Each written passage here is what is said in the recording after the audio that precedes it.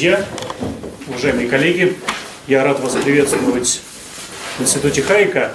Сегодня у нас с вами особый день.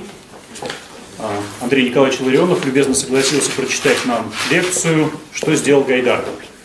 Андрей Николаевич является старшим научным сотрудником Института Катона и директором Института экономического анализа. Президентом. Президентом, да, извините. Но я думаю, что для многих он прежде всего известен как бывший советник президента Владимира Путина по экономике. А Я думаю, что многие согласятся с высказыванием, которое, я думаю, применимо ко всякой области исследования, особенно той, которая вызывает разные эмоциональные споры, а именно с высказыванием Спинозы о том, что нужно не плакать, не смеяться, не ненавидеть, а исследовать. А Я думаю, что всякая тема, которая нас близко касается, вызывает, конечно, разные реакции. Я бы хотел призвать всех сегодня присутствующих к тому, чтобы попытаться конструктивно посмотреть на то, что нас непосредственно касается сейчас, я думаю, будет касаться в дальнейшем. А именно попытаться разобраться в том, что происходило в нашей стране 20 лет назад. Я буду кратким. Единственное, что я хотел бы сказать, прежде чем уважаемому гостю предоставить слово, это порядок проведения сегодняшнего мероприятия. Я думаю, что э, Андрей Николаевич, по крайней мере, мы с ним договаривались, примерно 50 минут или что-то вроде того посвятит части лекционной. После этого мы перейдем к дискуссии. Я надеюсь, что прежде всего сегодняшнее мероприятие будет носить характер а, дискуссионный в большей степени. Так что после доклада мы перейдем к, этому, а, к этой части. Вы сможете задавать вопросы, а после этого и выступать. Наши уважаемые гости и Дмитрий Травин и Андрей Заостровцев любезно согласились сегодня поучаствовать в этой дискуссии. Я надеюсь, что она будет крайне интересной и полезной для всех, в том числе и для молодых студентов, политологов, экономистов, которых сегодня тоже можно увидеть здесь. Спасибо. Все, можно начинать, да? Можно начинать. Хорошо, Три-четыре. спасибо. А, Добрый вечер, уважаемые коллеги. А, Прежде всего я хотел бы выразить свою, э, не побоюсь этого слова, искреннюю признательность э, Институту Хайека и э, Павлу Валерьевичу за э, это приглашение и за возможность э, быть у вас здесь э, и э, вот начать э, вот этот разговор, разговор, э, который мы вот назвали э, «Что сделал Гайдар?». Я не буду скрывать, что э, я отношусь вот к этой нашей встрече так, с, э, с особым отношением, потому что я хотел бы, чтобы этот разговор, который начнется вот с, с- моих э, некоторых вот тезисов, и который, я надеюсь, будет продолжен нашей совместной дискуссии, э, насколько возможно будет напоминать, может быть, э, одно из самых лучших моих воспоминаний в моей жизни и участие, это опыт. Э, клуба «Синтез», который существовал в течение, наверное, пяти лет, с 1986 по 1991 год у нас в Петербурге, э, которые были созданы э, вот, нашими коллегами э, Борисом Левиным э, вот, и некоторыми другими, и который внес с моей точки зрения, неоценимый вклад лично в мое э, образование и в понимание того, что происходит. Ну, мне кажется, оказал достаточно большое воздействие на э, мировоззрение э, целого ряда людей, которые, в общем, так, не совсем потерялись в недавней российской истории. А Для тех, кто тут в зале есть люди, кто участвовал в этих семинарах, в частности, вот Дмитрий Яковлевич. Э, Для тех, кто не знаком э, или не, не удалось побывать на тех семинарах, я хочу сказать, что они, конечно, отличались, э, особенно в то время, исключительной содержательностью, такой нелицеприятностью суждений, и для участников не было никаких авторитетов, что, кстати говоря, не приводило к снижению уровня, а наоборот, приводило к очень высокому уровню обсуждения, редкому в то время не только для э, Питера, но и для Москвы. И у меня была возможность тогда сравнивать уровни дискуссии у нас и в Москве, в том числе в московских академических институтах. А Очень важная часть э, тех разговоров были не только выступления тех людей, кто делал какие-то первоначальные вот, выступления, заметки, но и обсуждения, обсуждения очень высокого уровня. Вот мне хотелось бы, чтобы у нас такой же разговор был бы, который бы пошел не в духе там, воскурения фимиама кому-то и не в духе вынесения приговоров, а в духе э, такого содержательного академического э, или аналитического разговора с главной целью э, попытаться разобраться, что же у нас произошло и почему это произошло. А я не буду скрывать, что э, подобные разговоры я э, хотел начать и провести э, в течение, по крайней мере, последних 20 лет. И с таким предложением неоднократно обращался в свое время э, и к Гайдару, и к Чубайсу, к Ясину, э, и ко всем тем э, непосредственным участникам Московско-Ленинградской группы экономистов 80-х, начала 90-х годов и участников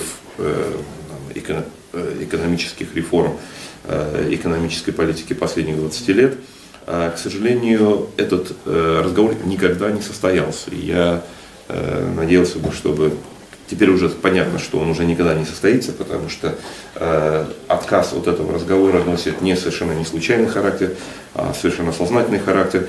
И, видимо, для, э, вот, для тех участников, потенциальных участников, э, вот, которые были приглашены для этого разговора, этот разговор, видимо, уже сейчас не может состояться по очевидным причинам, которые, может быть, будут более ясными э, вот, в ходе нашего разговора. И, видимо, только уже значит, вот новое поколение людей и поколение новое не только по возрасту, но и по, скажем так, своему мировоззрению, по идеологической направленности, только они в состоянии, по крайней мере, попробовать э, провести этот разговор более или менее объективно и непредвзято.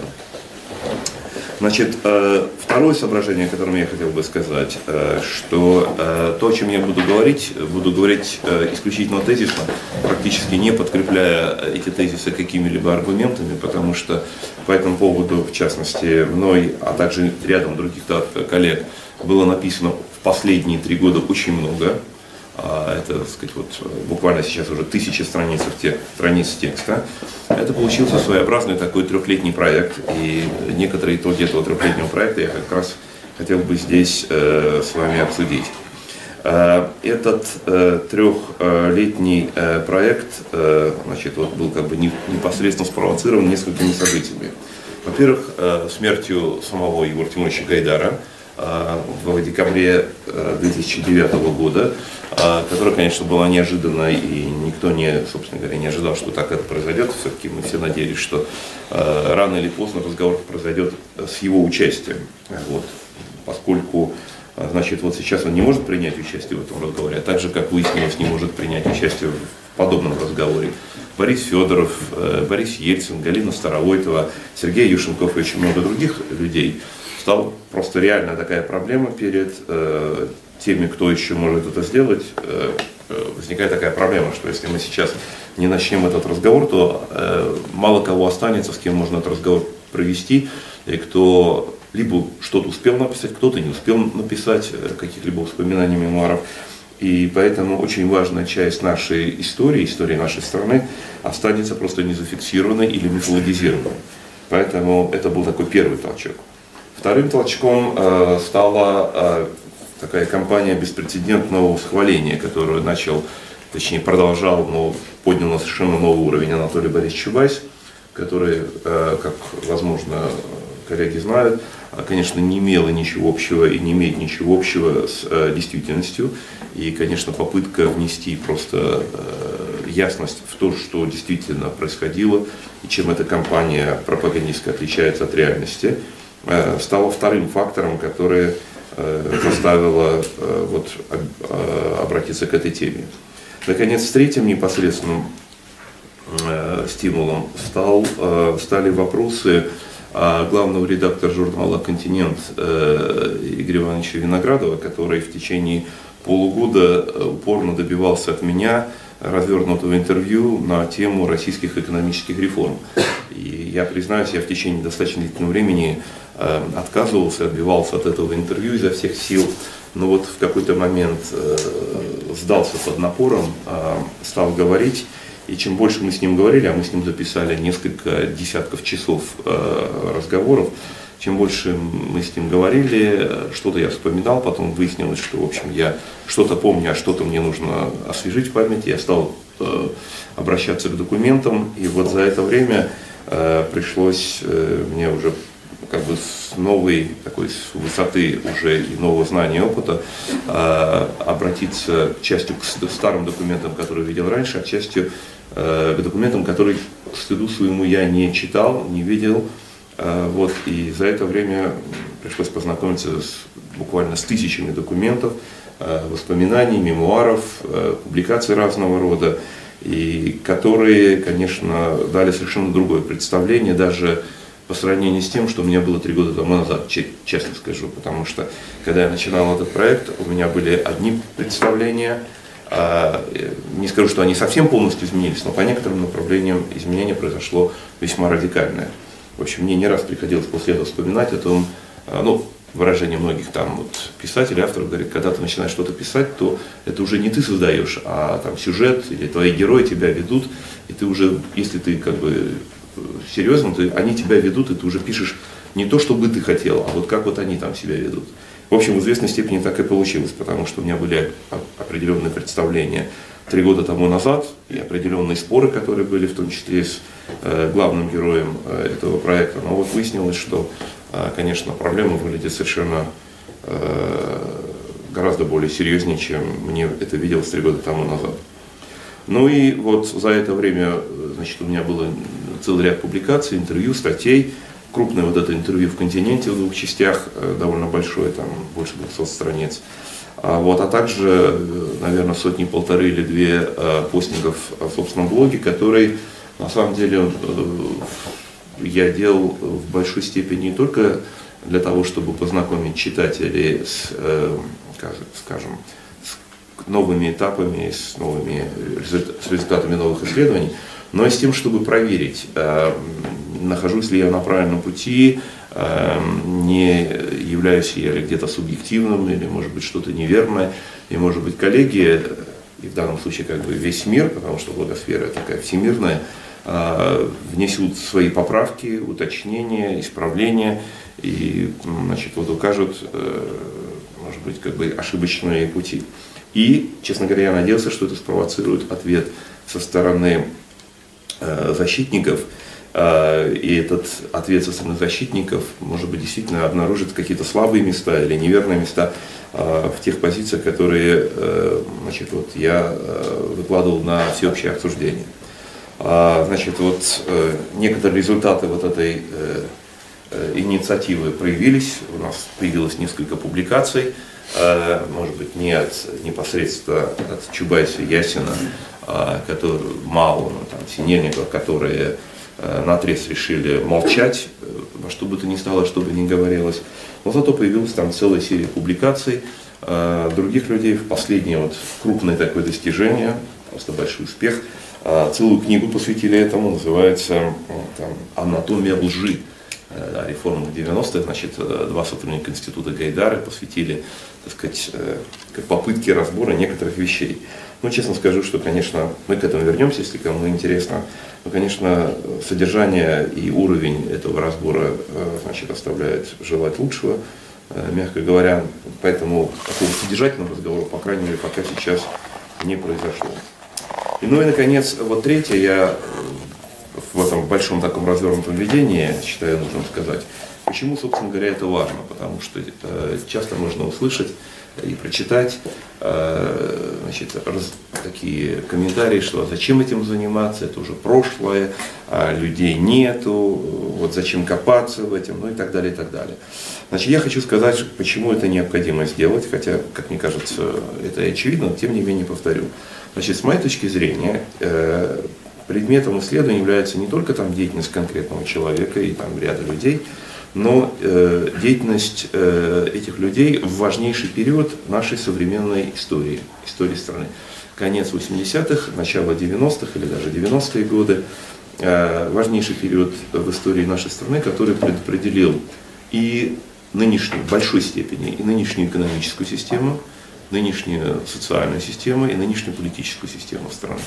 Это, конечно, большой разговор, э, который заслуживает обсуждения аргументов и контраргументов в какой степени нынешняя э, политическая, социальная, экономическая система уходит корнями э, в начало 90-х, в какой степени она сформирована позже или раньше, это все заслуживает э, обсуждения. И здесь, конечно, точки зрения у разных авторов могут быть разные, но с моей точки зрения, по крайней мере, из того, что получается вот из этого исследования, основы фундамент э, и политической, и экономической системы был заложен э, в начале 90-х годов с непосредственным участием наших героев. Это первое. Второе. Э, в начале, в конце 80-х, начале, даже не в начале, в, в течение 90-х годов произошла вторая крупнейшая экономическая катастрофа в истории страны последнего столетия.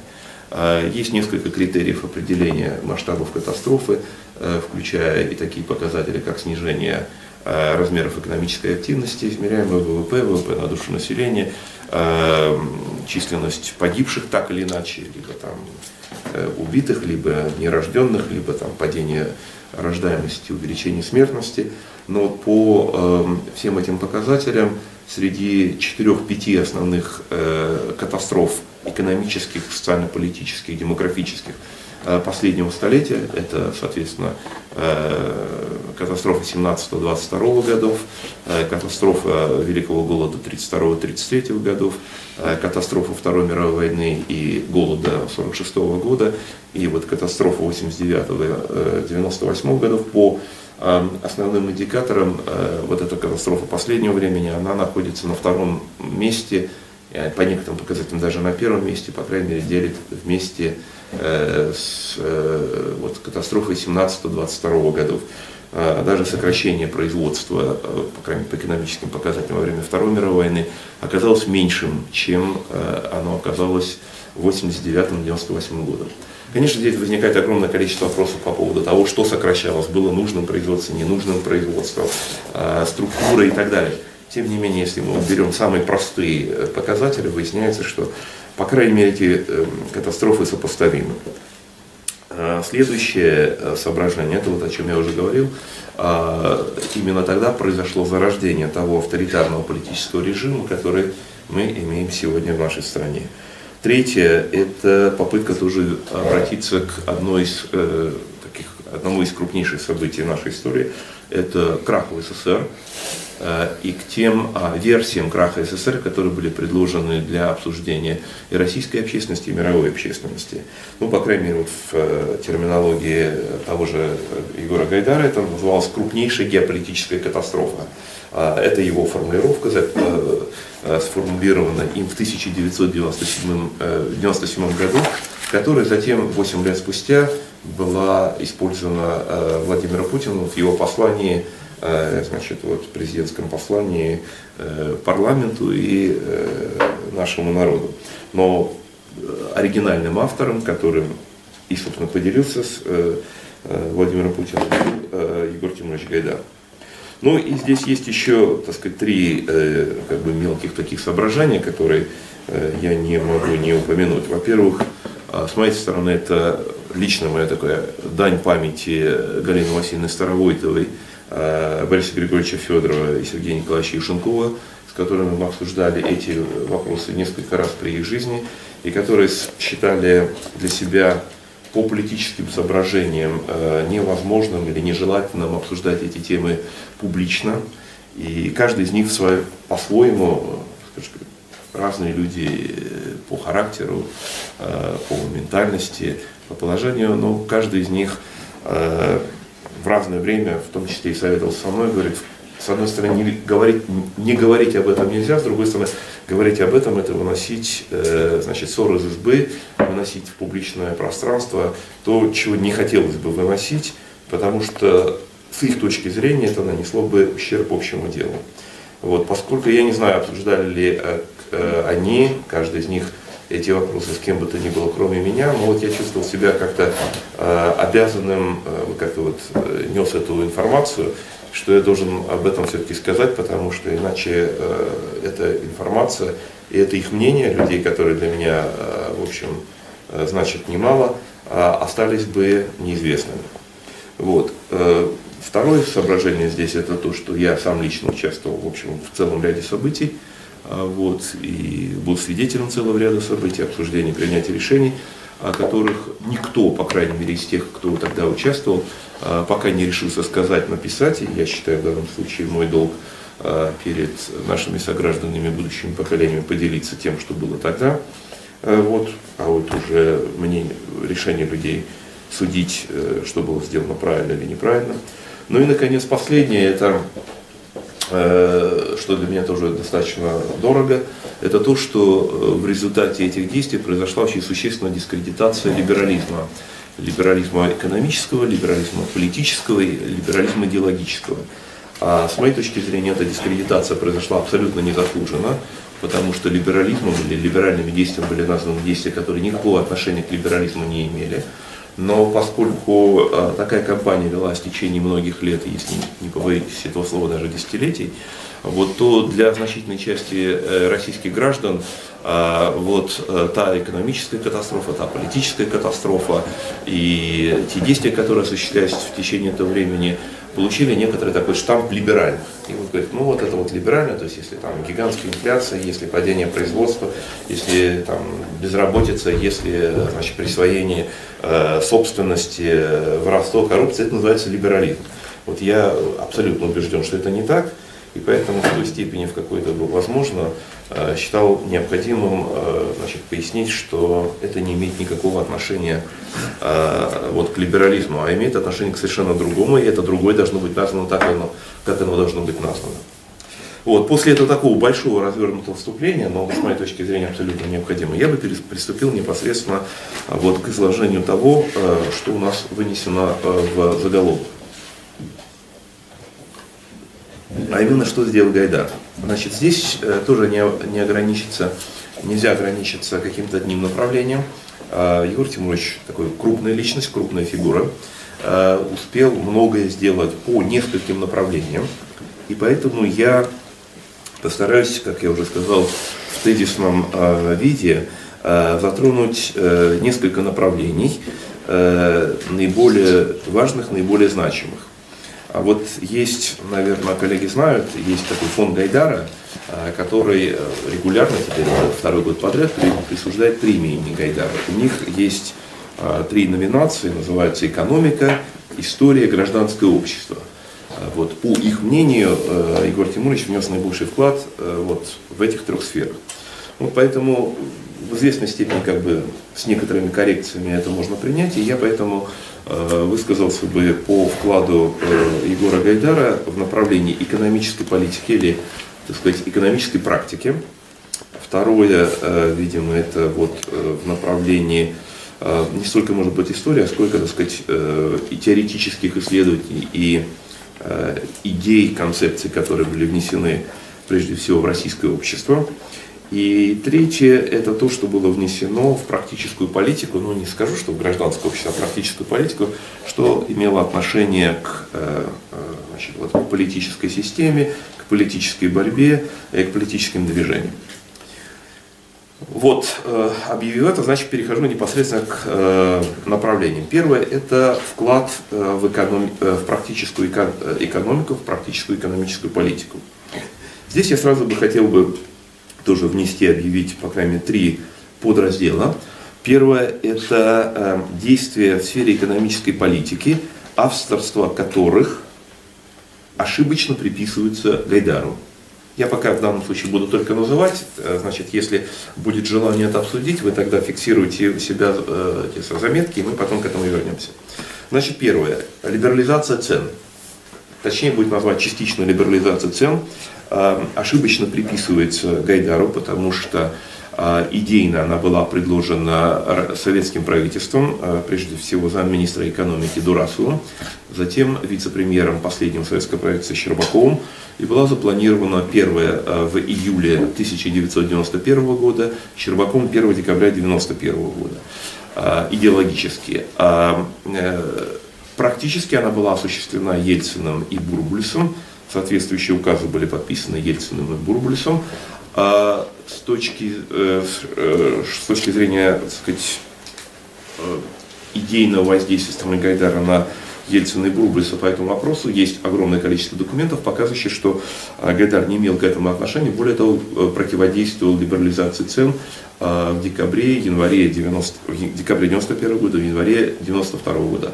Сам Гайдар неоднократно говорил, что выступал против либерализации цен в 91 в начале, в конце 91 в начале 92 года и сказал, что вот, к сожалению, Борис Николаевич, значит, вот, считал по-другому, и поэтому осуществлял либерализа... осуществил либерализацию цен вот тогда, когда она произошла. А сама концепция либерализации цен э, у Гайдара была другой. Он хотел это делать с июля, с 1 июля 1992 года. Собирался делать ее в несколько этапов, собирался ограничить ее разными там, группами товаров услуг. А, значит, это не удалось сделать, потому что в э, бюрократической иерархии президент страны занимал более высокое положение, чем вице-премьер по экономике. И решение Ельцина проводить либерализацию цен э, было принято правительством, она была произведена. Однако а, Гайдар сделал, э, как бы внес свой вклад, а, увеличив количество товаров и услуг, которые были исключены из либерализации цен 2 э, января 1992 года. Самыми крупными, самыми важными позициями являлись хлеб, зерно и нефть. Про нефть э, он говорил и говорил о том, что там, возможно, он совершил ошибку, не согласившись на либерализацию цен на нефть. Что же касается хлеба и зерна, а, никогда он об этом не говорил, однако документы, которые сейчас существуют в большом количестве, показывают последовательную принципиальную позицию борьбы против либерализации цен на зерно и хлеб, а, которая выдерживалась э, в течение э, всего года с лишним, в течение которых Гайдар находился первый раз в правительстве, и потом э, цены на хлеб и зерно были освобождены лишь осенью 1993 года, в октябре 93 года, потом, точнее, началось это в июле 93 года, потом следующий этап в октябре, наконец это было завершено в декабре 93 года. Главным мотором эм, э, этой либерализации был Борис Григорьевич Федоров. Я тогда работал в правительстве и наблюдал это с близкого расстояния. Там какой-то небольшую часть в этом деле тоже принимал. Но главный э, автор либерализации цен на зерно и хлеб это, конечно, э, Борис Григорьевич Федоров. Значит, Э, регулирование, э, государственное регулирование цен на хлеб и зерно с чудовищным субсидированием э, цен на хлеб и зерно, которые были введены Гайдаром, обошлось только в 1992 году российскому бюджету в 3 миллиарда долларов. Это самая скромная оценка. То есть там вообще получается минимум 3,5 миллиарда долларов, но а, там, с некоторыми оценками 3 миллиарда долларов. Для понимания того, что такое 3 миллиарда долларов в 1992 году, следует сказать, что все доходы федерального бюджета 1992 года составили чуть больше 10 миллиардов долларов. Я специально использую доллары, чтобы как бы удобнее записать. То есть примерно э, значит, вот субсидии на э, зерно хлеб составили э, порядка трети от доходов федерального бюджета 1992 года. Значит, э, золотой дождь, пролившийся на аграрно-промышленный комплекс через это субсидирование, чем через кредиты, вообще не поддаются описанию. Значит, это часть э, истории нашей страны, экономической политики в нашей стране, экономических реформ фактически не описана. Она, ее описание, даже описание, не говоря уже раз, просто отсутствует. Э, сейчас, насколько мне известно, есть несколько человек, кто над этой темой работает. А, значит, когда это будет опубликовано в виде хотя бы там развернутых статей, Э, докладов или книг, это будет э, бомба посильнее э, вот, любых скандалов, потому что масштабы вот, субсидирования и развала финансовой системы, бюджетной системы, денежной системы и одновременно колоссальное перераспределение финансовых средств в пользу одного достаточно узкого сектора, даже не просто сектора, а отдельных групп значит, вот, там, бизнеса, а, и бюрократов с этим связано, вообще, конечно, а, имеет мало себе равных, если считать это в процентах от волового внутреннего продукта соответствующего года. Конечно, по абсолютным масштабам нынешнего роста превосходит то, что было тогда в 1992 году, но относительно размеров экономики это не имеет себе, конечно, равных э, вот, в мире. А дальше. Либерализация социальной сферы. Она была проведена не Гайдаром, а проведена Шухиным. Э, буквально в первом же пакете э, решений э, нового российского правительства 15 ноября 1991 года. Эта тема также является фактически закрытой, не исследованной, не обсуждаемой, но именно те решения, которые были подготовлены и приняты 15 ноября 1991 года, по большому счету, действительно спасли российских граждан, потому что тогда были сняты ограничения на заработки, на ограничение фонда заработной платы, и при всей там, экономической катастрофе, которая была в 91 92 и прочих годах, именно это позволило э, значит, просто людям хоть что-то попытаться зарабатывать, что-то получать. Дальше. Указ о свободе торговли. Э, во многих публикациях, посвященных реформам, э, значит, этот авторство указа о свободе торговли приписано Гайдару абсолютно а, неверно, абсолютно ложно, потому что указ о свободе торговли был написан непосредственно а, а, питерским депутатом, тогда молодым экономистом Михаилом Михайловичем Киселевым, который был избран на съезд народных депутатов России. А, значит, затем он был внесен, еще был в ноябре 1991 года был отдан Гайдару, Гайдар положил его под сукно, и э, значит, э, значит, пытался, чтобы он никаким образом не прошел.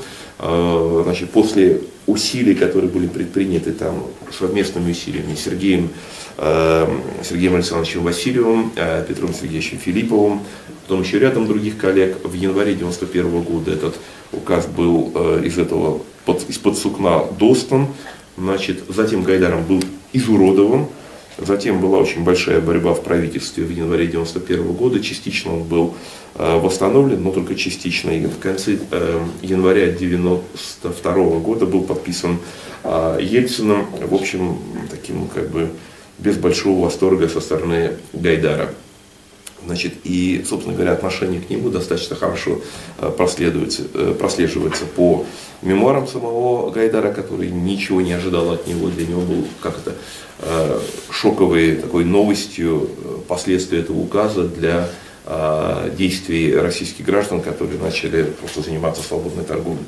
Но не прошло и полугода, как в июле 1992 года Гайдар, значит, собственно, существенно изменил этот указ о свободе торговли, снова уменьшив значит, вот, права, возможности российских граждан заниматься экономической деятельностью.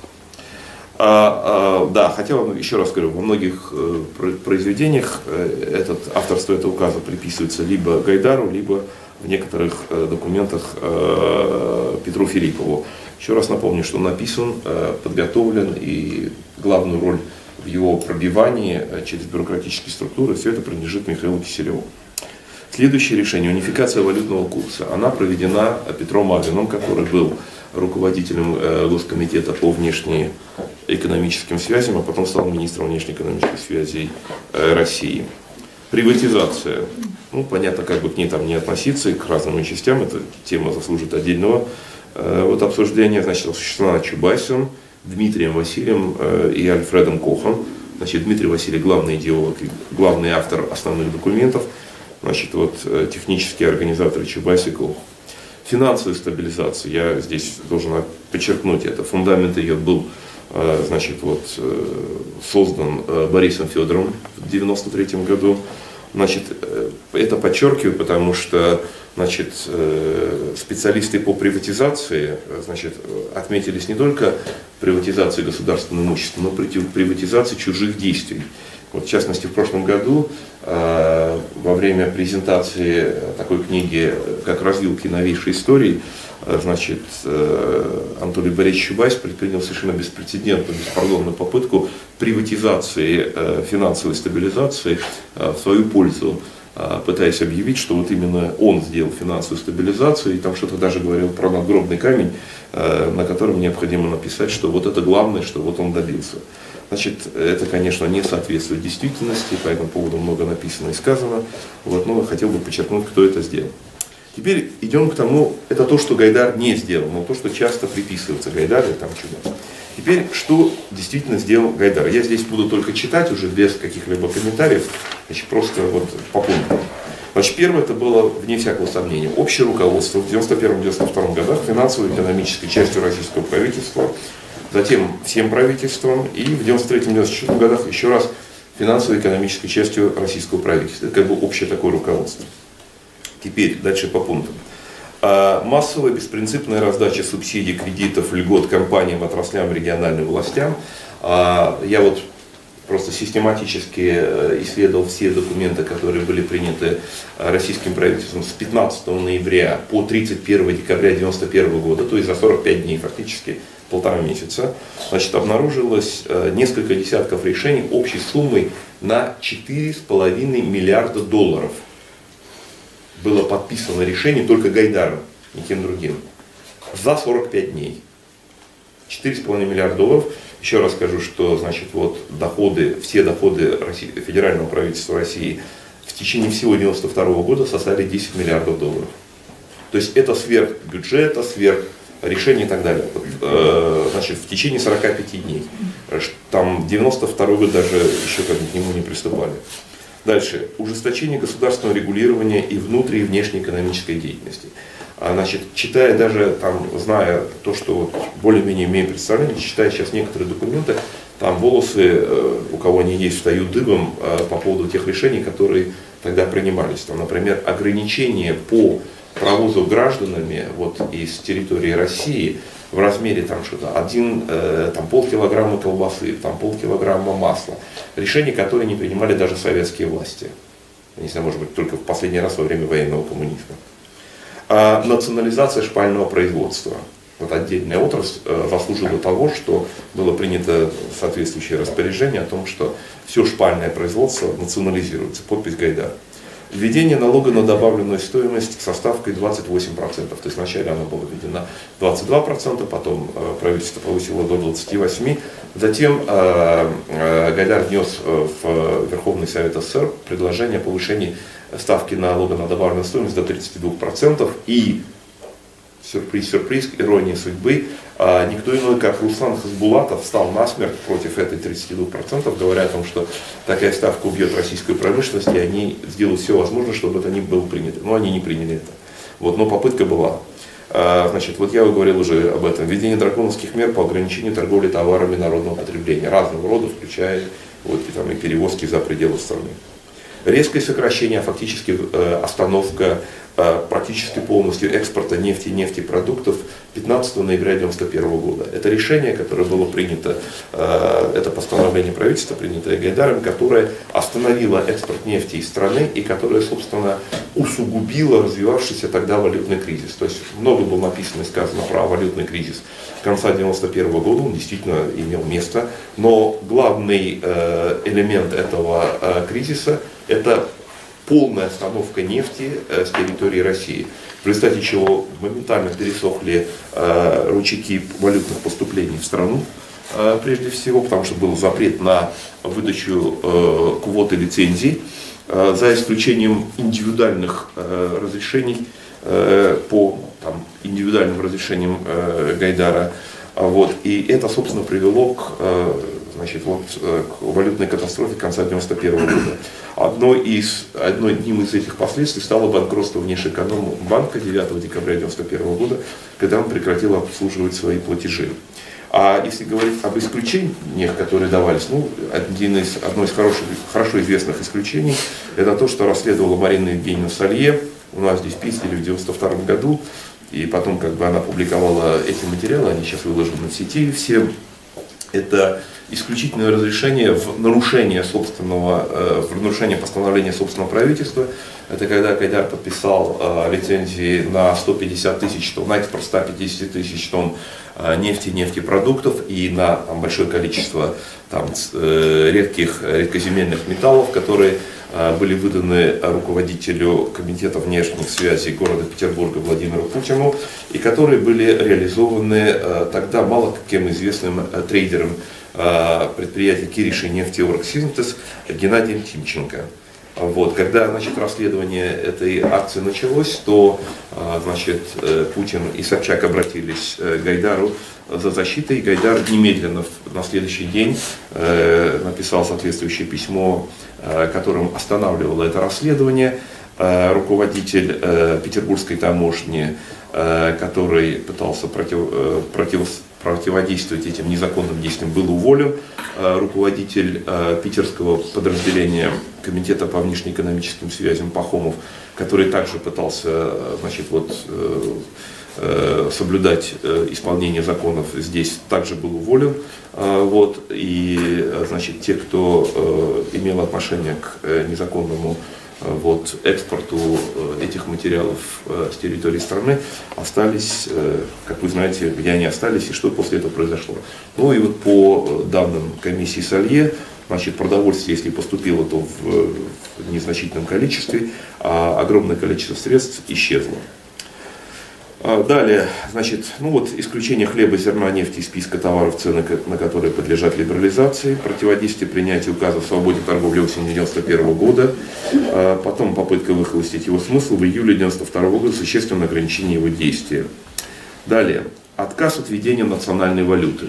Это очень интересное явление, потому что Э, в рамках той программы, которая разрабатывалась, в частности, Московской ленинградской группой экономистов, к которой я тоже имел отношение, э, мы, когда разрабатывали тогда, вот это конец 80-х, начало 90-х годов, естественно, разрабатывались меры, которые необходимо предпринять. Одним из первых решений был, было решение о введении национальной валюты.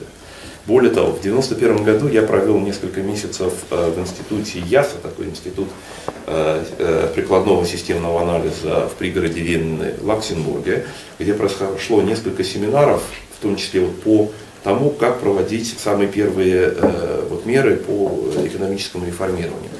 И э, это место, почему я специально называю, место удачное, потому что э, там существовало достаточно большое количество литературы, э, рассказывавшей, объяснявшей необходимость введения национальной валюты после э, распада Австро-Венгерской империи в 1918 году. И как раз рассматривались неудачные случаи отказа от введения национальной валюты в Австрии и Венгрии, как бы так сказать, вот, э, основных частях Австро-Венгерской империи, и э, успех э, э, значит, вот, чешского, тогда чехословацкого министра финансов Разина, который, э, собственно, свою про, э, программу финансовой стабилизации в Чехословакии начал э, с введением национальной валюты кроны, которая потом стала просто как бы таким классическим э, учебниковым примером того, как это надо делать. Вот, и Э, программа оказалась исключительно успешной, что, собственно, заложило фундамент э, бурного экономического роста в Чехословакии, и благодаря чему Чехословакия в межвоенный период была одним из наиболее успешных государств Центральной Европы, а может быть и всей Европы. Это мы детально обсуждали, э, обсуждали плюсы, минусы и так далее. То есть вот по состоянию на осень 91 года, вот, можно сказать, любого из членов команды разбуди и спроси, что нужно делать. И там среди первых, там, ну, может быть, пяти действий, которые нужно делать, будет введение национальной валюты.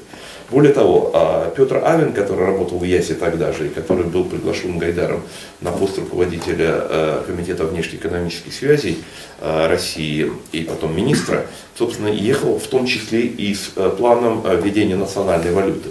И даже еще в ноябре 1991 года, я просто помню эти обсуждения в российском правительстве, это воспринял как совершенно естественным образом. Даже достаточно посмотреть Альбергскую декларацию, которую мы подписывали в сентябре 1991 года.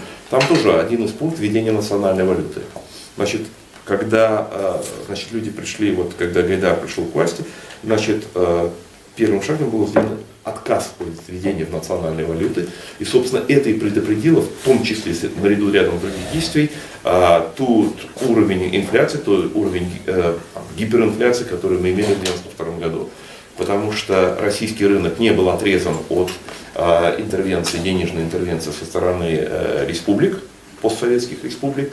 А, Гайдар много говорил о том, как вот эта э, денежная интервенция повлияла на срыв финансовой стабилизации, чему только не говорил, что автором отказа от национальной валюты был лично он. Вот. И национальная валюта была введена уже только э, с 1 э, июля, не с 1, с 23 июля 1993 года, и как не покажется опять-таки иронии судьбы, Виктором Геращенко. А, значит, далее, а, проведение взаимозачета, сопровождавшегося массированной кредитной эмиссией. Значит, в отличие от мифа, который э, был распространен буквально же летом 1992 года, автором идеи взаимозачета, не только идеи, автором целого ряда постановлений правительства, совместных постановлений правительства и Верховного Совета СССР, э, Верховного Совета России еще в мае 1992 года, за два месяца до прихода Геращенко в Центральный банк, был Егор Тимурович Гайдар. Когда же в августе 92 года э, этот зачет стал проводиться, и очень многие члены команды стали выступать просто публично с тем, чтобы значит, как-то это остановить, э, вот этот самый э, э, вал э, э денежной эмиссии и инфляции, я лично просто вот приходил к Гайдару, когда у него там находился Чубайс, и как раз вот говорил по этому поводу, значит, что у нас происходит с зачетом и что происходит с, Гайдар, э, с Геращенко, на что оба э, товарища, и Егор Гайдар, и Анатолий Чубайс, сказали мне, что это все делается по их согласию, по их разрешению, по их инициативе, они, и Геращенко выполняет их поручения. Вот дословно говорю наш разговор, который состоялся в начале августа 1992 года. Дальше, поскольку уже говорю про э, Виктора Геращенко, то э, значит, вот, э, интенсивное лоббирование на пост руководителя Центрального банка самого Геращенко, что началось еще в самом начале ноября 1991 года, еще до назначения всех членов так называемой команды. Значит, самой первой вот, попытка назначить Геращенко на пост руководителя Центрального банка была предпринята еще даже до 15 ноября, потому что 15 ноября было первое заседание правительства э, в здании на Старой площади, а эта первая попытка была сделана, когда еще правительство российское сидело в здании на э, строительного комитета на Новом Арбате. Об этом вот мне рассказал и э, сам Геращенко, и Геннадий Борбулис. Вот подробно в лицах рассказывали, как Гайдар пригласил значит, Бурбулиса, из Бурбулиса значит, пригласили Геращенко, и, значит, Гайдар предлагал вот, назначить Геращенко на пост руководителя Центрального банка за, соответственно, сколько? За 9 месяцев до того момента, как Геращенко был назначен на этот пост. И, конечно, вот та э, как бы сказать, э, история, которую потом он изложил в мемуарах, является полностью фальсифицированной. А, значит, о том, что якобы там Верховный Совет назначал. А, Хасбулатов противодействовал, значит, противился назначению Геращенко а, по его словам, говорит, он отбил четыре атаки э, со стороны Гайдара и Ельцина, который был, э, значит, действовал от имени Гайдара по назначению Геращенко, который говорит, когда уже пятый раз э, значит, Ельцин стал у меня э, просить назначить Геращенко, я сказал, ну я не могу больше уже противодействовать, хотя там еще в ноябре-декабре 91 года, когда Гайдар приходил к нему с предложением Геращенко, сказал, говорит, слушайте, ну вы же либерал, ну куда вы тащите этого красного банкира? Он же у вас совсем другие взгляды мировоззрения. Почему вы это делаете? На что Егор Тимурович улыбался, но продолжал лоббировать Геращенко. Далее. А, пересмотр решения Генерального штаба вооруженных сил Советского Союза октября 1991 года о закрытии разведывательного радиоэлектронного центра «Лурдис» на Кубе.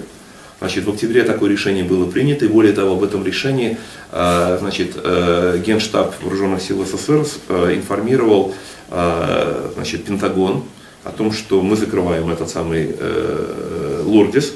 Вот, а в конце декабря 1991 года, когда пришло новое правительство, точнее, пришел новый вице-премьер, 27 э, декабря он подписал соответствующее распоряжение, э, с помощью которого там, закрытые там, э, с помощью такой спецоперации обмена нефти и нефтепродуктов на сахар вот, в размере потом поправлено в размере 200 миллионов долларов, а, был профинансирован этот самый центр.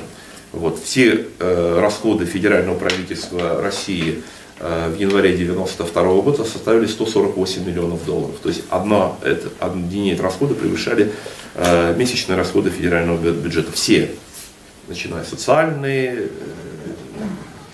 образование, здравоохранение, армия, администрация, все что угодно. Далее. Э, отмена перехода на рыночные цены и отношения с Кубой. Э, значит, э, правительство Горбачева-Рыжкова в начале, нет, Горбачева Павлова в начале 91 года отказалось от преференц, префер, преференциальных отношений с Кубой, бартерных контактов – административных цен и перешло на рыночные отношения. Все эти, э, все эти решения год спустя, э, в январе 1992 года, были отменены Гайдаром и были восстановлены э, отношения, которые были характерны для отношений между СССР и Кубой в предшествующие несколько десятилетий. Несколько распоряжений по выведению валюты из России на неизвестные цели. Признаюсь честно, по некоторым решениям до сих пор непонятно, куда это ушли. Просто есть решение на экспорт прежде всего топливно-энергетических товаров, с разрешением зачислить полученные средства на счета, находящиеся за рубежом, без требования поступления этих средств на территорию страны или там, зачисления на счета российских банков и так далее причем при с освобождением этих поступлений от таможенных э, пошлин, налогов и так далее.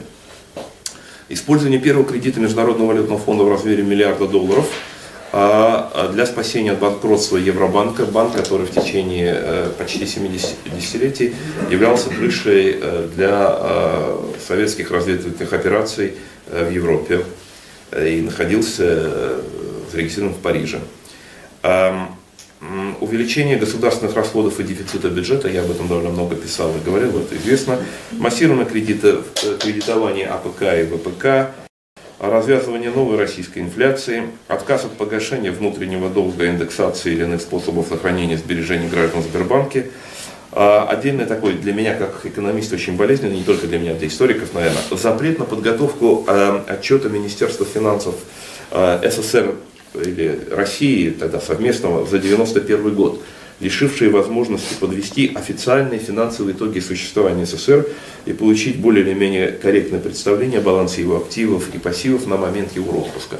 К сожалению, так до сих пор это дело не сделано. Есть разные работы, посвященные оценкам того, с чем э, закончил свое существование э, Советский Союз, какие были долги, какие были активы, какие пассивы, э, кто кому должен. Но вот формальные операции подведения итогов, она так и не была сделана, хотя для этого требовалась работа стандартной аналитической группы в течение двух недель, там человек 10, в течение двух недель, собственно, за их собственную зарплату, но это было запрещено делать.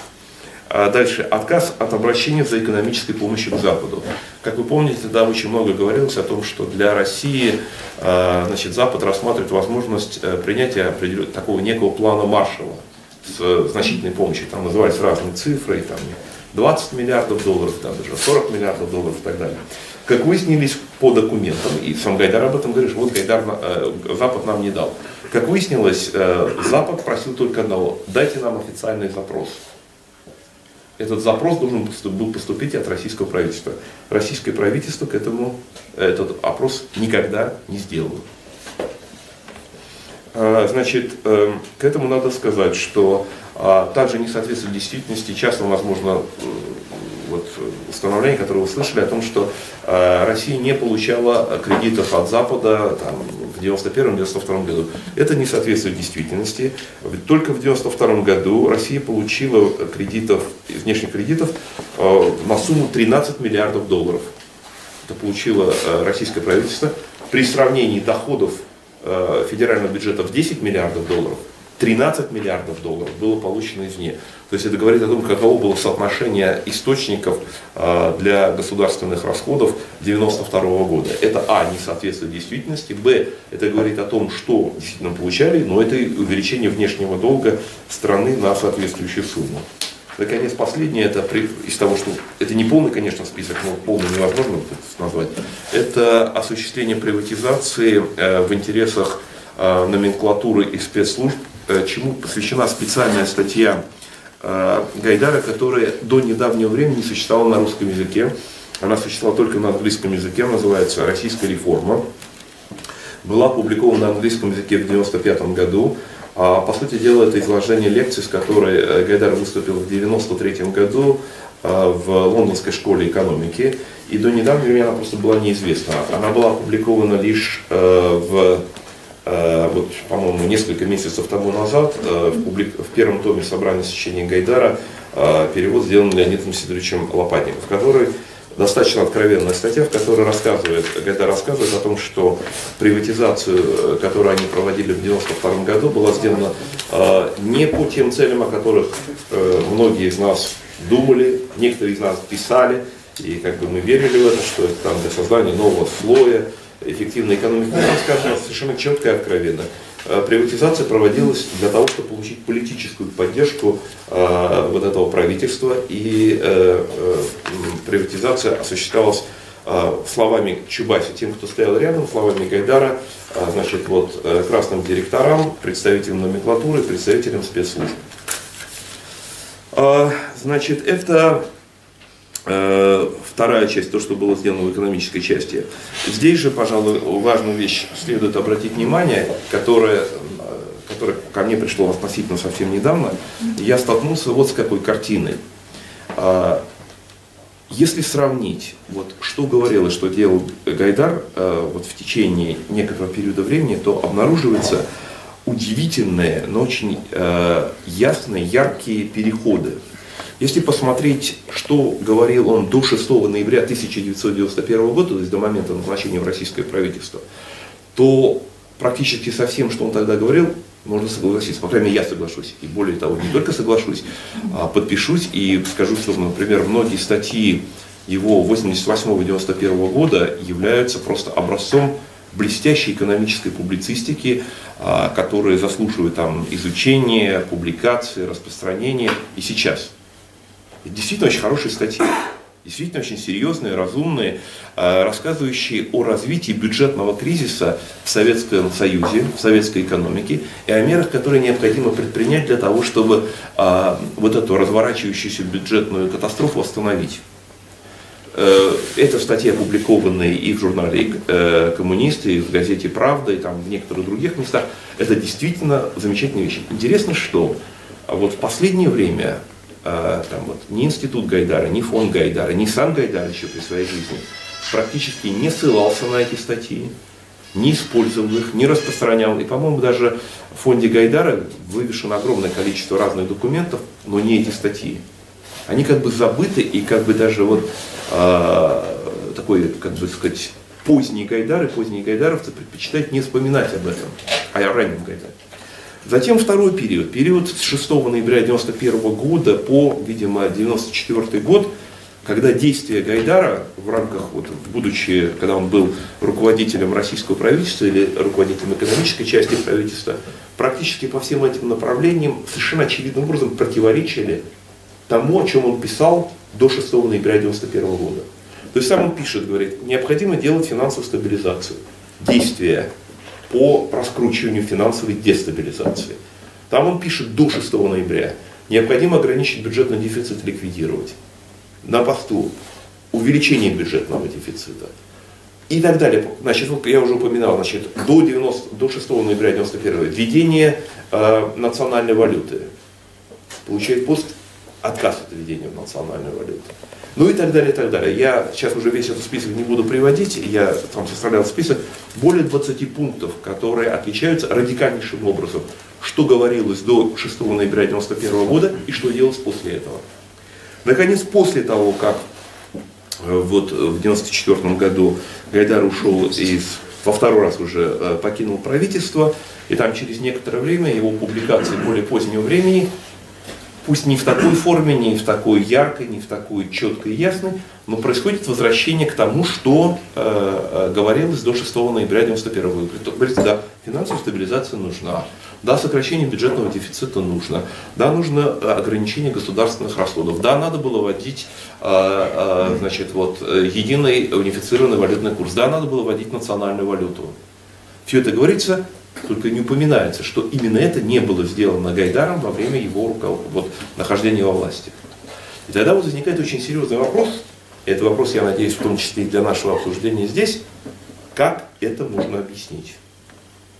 То есть вот э, и я об этом говорил, и многие другие люди задаются этим вопросом. Значит, вообще как можно объяснить вот эти действия Гайдара, там предлагают по меньшей мере там, три версии. Первая там, версия такая, сказать, э, там, низкий уровень экономического образования. Ну, есть такие, значит, там, так сказать, большое там политическое давление со стороны, не знаю, там, коммунистов, аграриев, э, Верховного Совета, Хасбулатова, там, Ельцина, кого угодно. И третье – личное мировоззрение, так сказать, его собственные взгляды. Значит, вот когда, э, ну, что касается первого соображения, так сказать, вот, там, низкий уровень образования, я прямо скажу, значит, у меня есть очень серьезная проблема с этой интерпретацией, потому что возникает вопрос, а кто же писал тогда эти статьи 88-91 годов? Никто сам Гайдар. И это, еще раз повторю, это очень хорошие статьи, даже вот с высоты нашего современного дня. Это хорошие статьи, объясняющие, что происходило тогда в Советском Союзе. И тогда возникает вопрос, что произошло, почему человек, который писал, блестяще писал, причем тогда, когда немногие об этом писали и говорили, правильные вещи, затем проводил политику прямо противоположную тому, о чем он только что писал. Наконец он уходит из правительства и возвращается к тому, о чем он писал до того. Но мы, я надеюсь, к этому вернемся, это будем обсуждать. Значит, я смотрю, что я уже сильно занимаю время, да? Я думаю, что ничего страшного. Э, я тогда буквально, э, значит, тогда совсем э, буквально тезисными тем, тезисным образом тогда затрону другие темы, уже детально обсуждать не буду. Значит, что сделано вот в политическом, таком, в политической сфере? Значит, тут обращает на себя внимание вот что. До 20 августа 1991 года ни в одном э, произведении Гайдара, ни в публикации, ни там в научной, ни в публицистической, ни в какой другой не присутствует слово демократ, демократия, демократические силы. Слов с корнем демократ вообще нет. Ни в каких воспоминаниях, в том числе его там дни поражения и побед, никакие контакты с демократами, демократическими силами, межрегиональной депутатской группы вообще не упоминаются.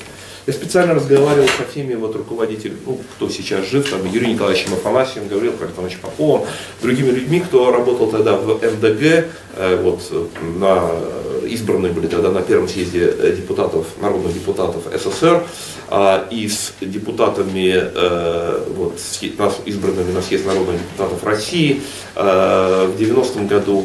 А, были ли какие-либо контакты с Гайдаром? Ответ один – нет. Не было, никто не знал, ничего, вообще ничего не было. Зато с другой стороны выяснилось, что депутаты, э, э, народные депутаты Советского Союза от группы «Союз», я надеюсь, еще помнит, вот была такая группа «Союз», такая, что?